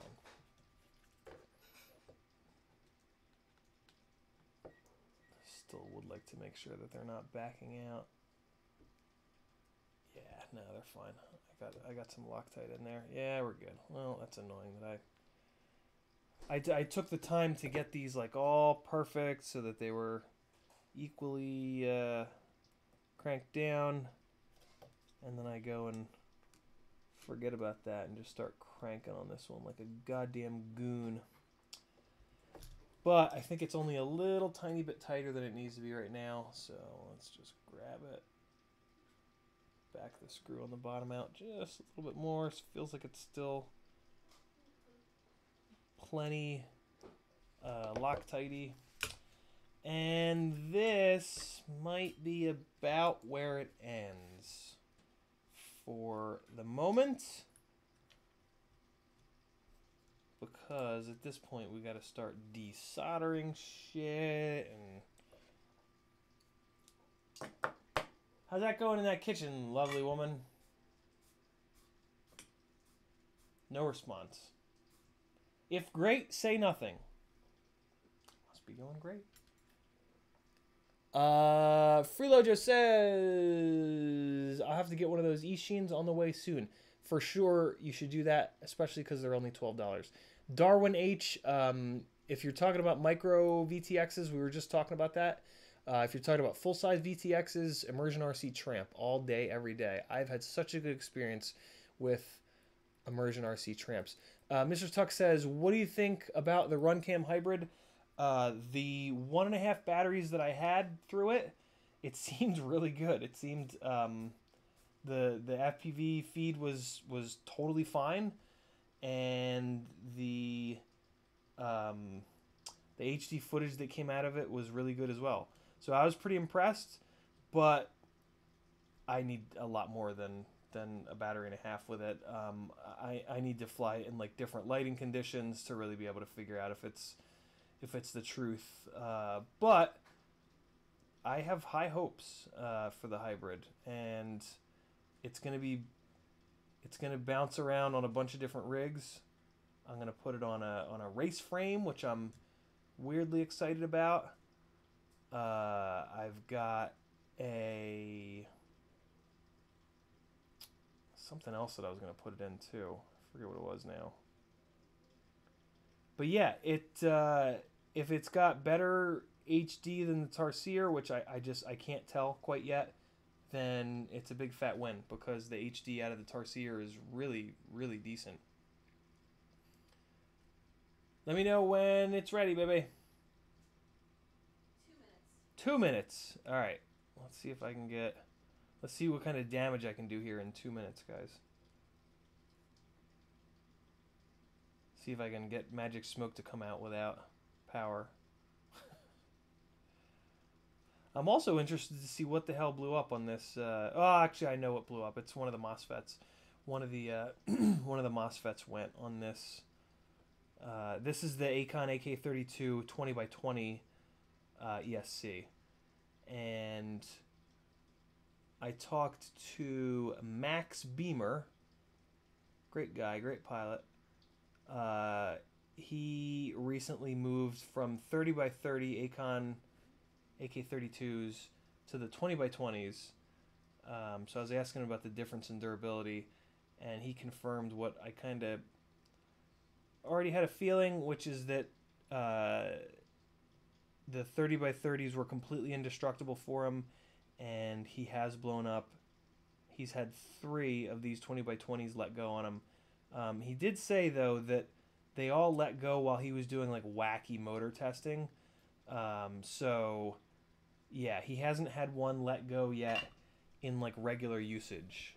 Um, and when when we're doing some of this testing, like it, you're just when you're especially when you're testing like weirdo oddball combos, um, all kinds of shit can happen. Like the the the, the PID loop starts. See, here's the here's the the thing. As soon as the PID loop starts to oscillate, there's not an ESC on Earth that can handle um, what our error correction, the kind of power that our error correction uh, will, will will ask for. So it's really hard to to say like yes, this is the end all be all ESC, um, especially because you know even when you're evaluating them on crashes, you can have like 18 crashes in a row that are just perfectly vicious enough to to put stress on just the right spot. Um, so it's just kind of tough. Like you, you gotta listen to multiple people. You gotta look for the people that fly like you do, right? Like if you don't ever crash, taking advice on components from a guy that does crash a lot. I mean, I guess it's good anyway because if you do fall out of the sky and crash, then you're benefiting from it. But you guys know what I'm saying, right? Like, you got to take everything with a grain of salt, but you got to really try your best to look for people that um, are flying similarly to you, crashing similarly similarly to you, or just find somebody that crashes a lot and get whatever they get because having really durable gear is a really nice thing, right? Like when you go down somewhere unrecoverable and your gear is all real durable, that's potentially going to be a good day for you, right? Whereas if you're trying like bleeding edge gear that is uh, kind of questionable, um, hey, you're dancing with the devil, I guess. Come on, let go, you little jerk.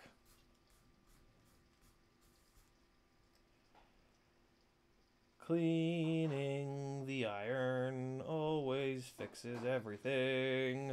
Well, not always, but sometimes.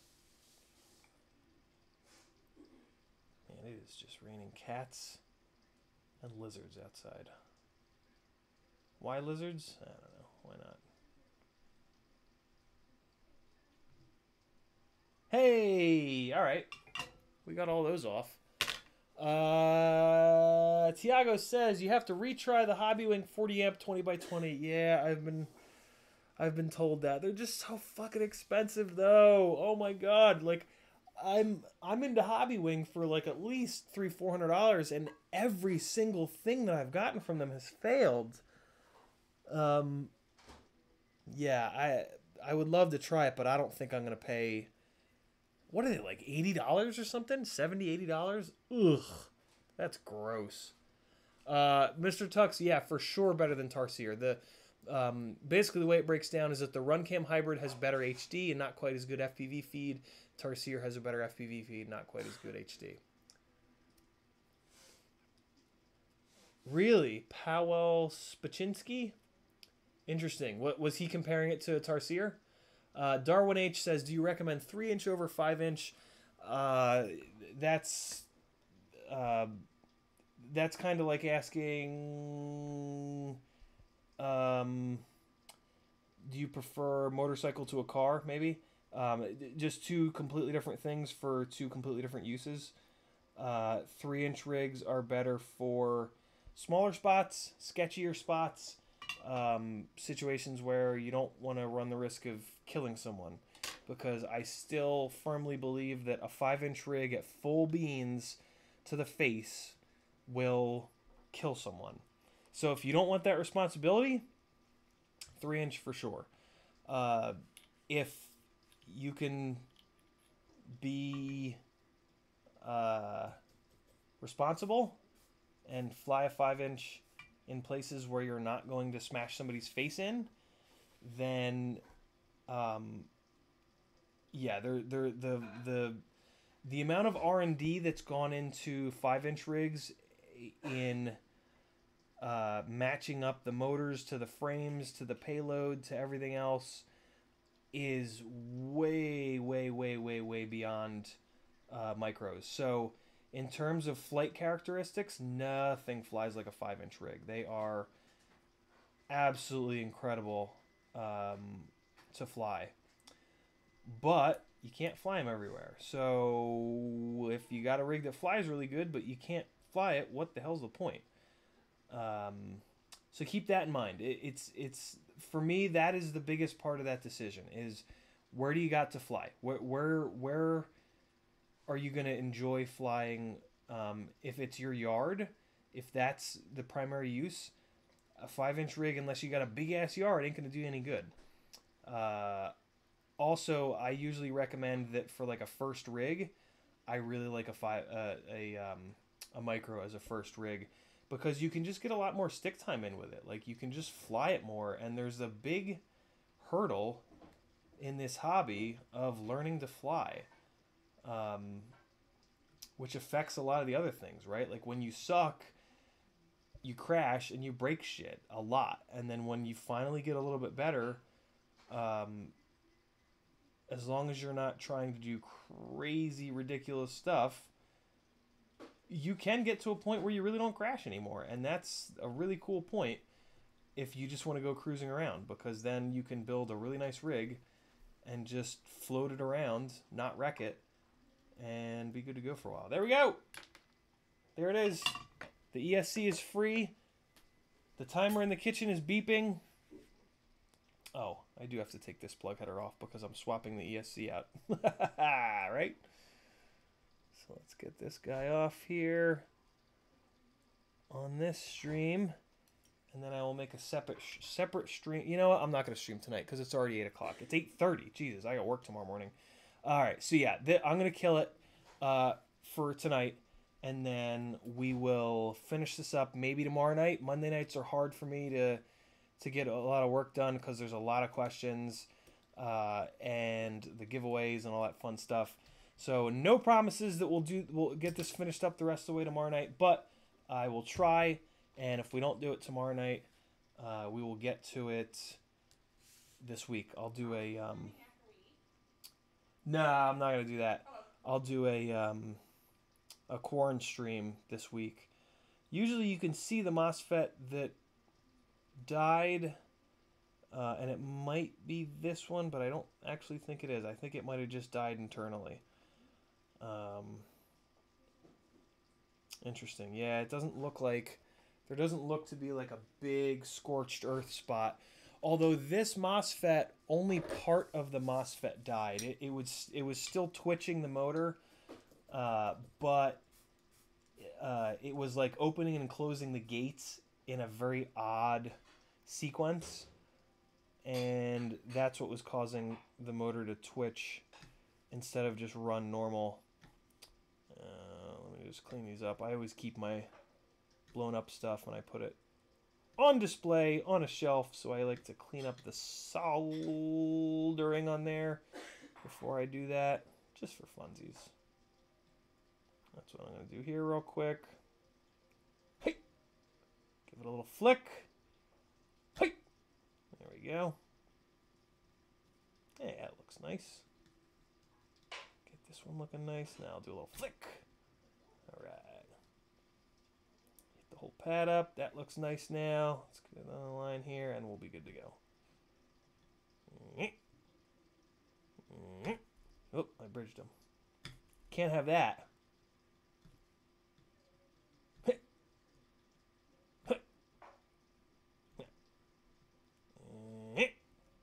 All right, good enough. Good enough piece of artwork for the shelf. All right, well, there it is. That's what we've done for the night. We fixed some things, we troubleshot some things, we procrastinated some things. And that, ladies and gentlemen, is how I do it. Um, oh, know what? I just I, I forgot I have these. Oh man, I have I can do so much work this week now that I have these uh, these Talon F7s in. Ooh, Darwin H, uh, Micro VTX, same answer as before. Eachine Nano. That is gonna be my VTX of choice in short order. It's very inexpensive and you can get them almost anywhere. Um, cool Coyote asks, does Steel's rig crash well? Uh, the Apex frame absolutely does. It is a very durable frame. Uh, the Kiss Electronics, on the other hand, I've not heard great things about in terms of um, just crashing them really hard.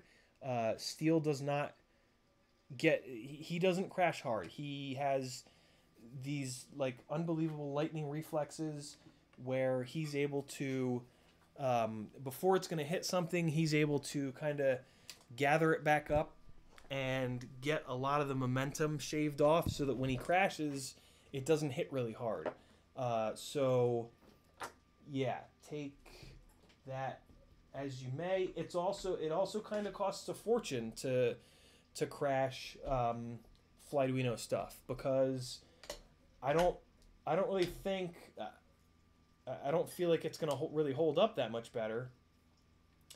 And yeah, I don't know. Uh, Kiss rigs, in my opinion, are not meant to be bashers, and if it's not a bat, if it's not able to withstand that kind of abuse, I'm not interested in it. So I'm probably not the best person to ask. But again, the the Apex frame is phenomenal, and may very well be one of the, if not the toughest frames out. Nah, it's not the toughest frame out there, but um, uh, ratio of weight to toughness, it might be one of the best. So I turned all the lights off.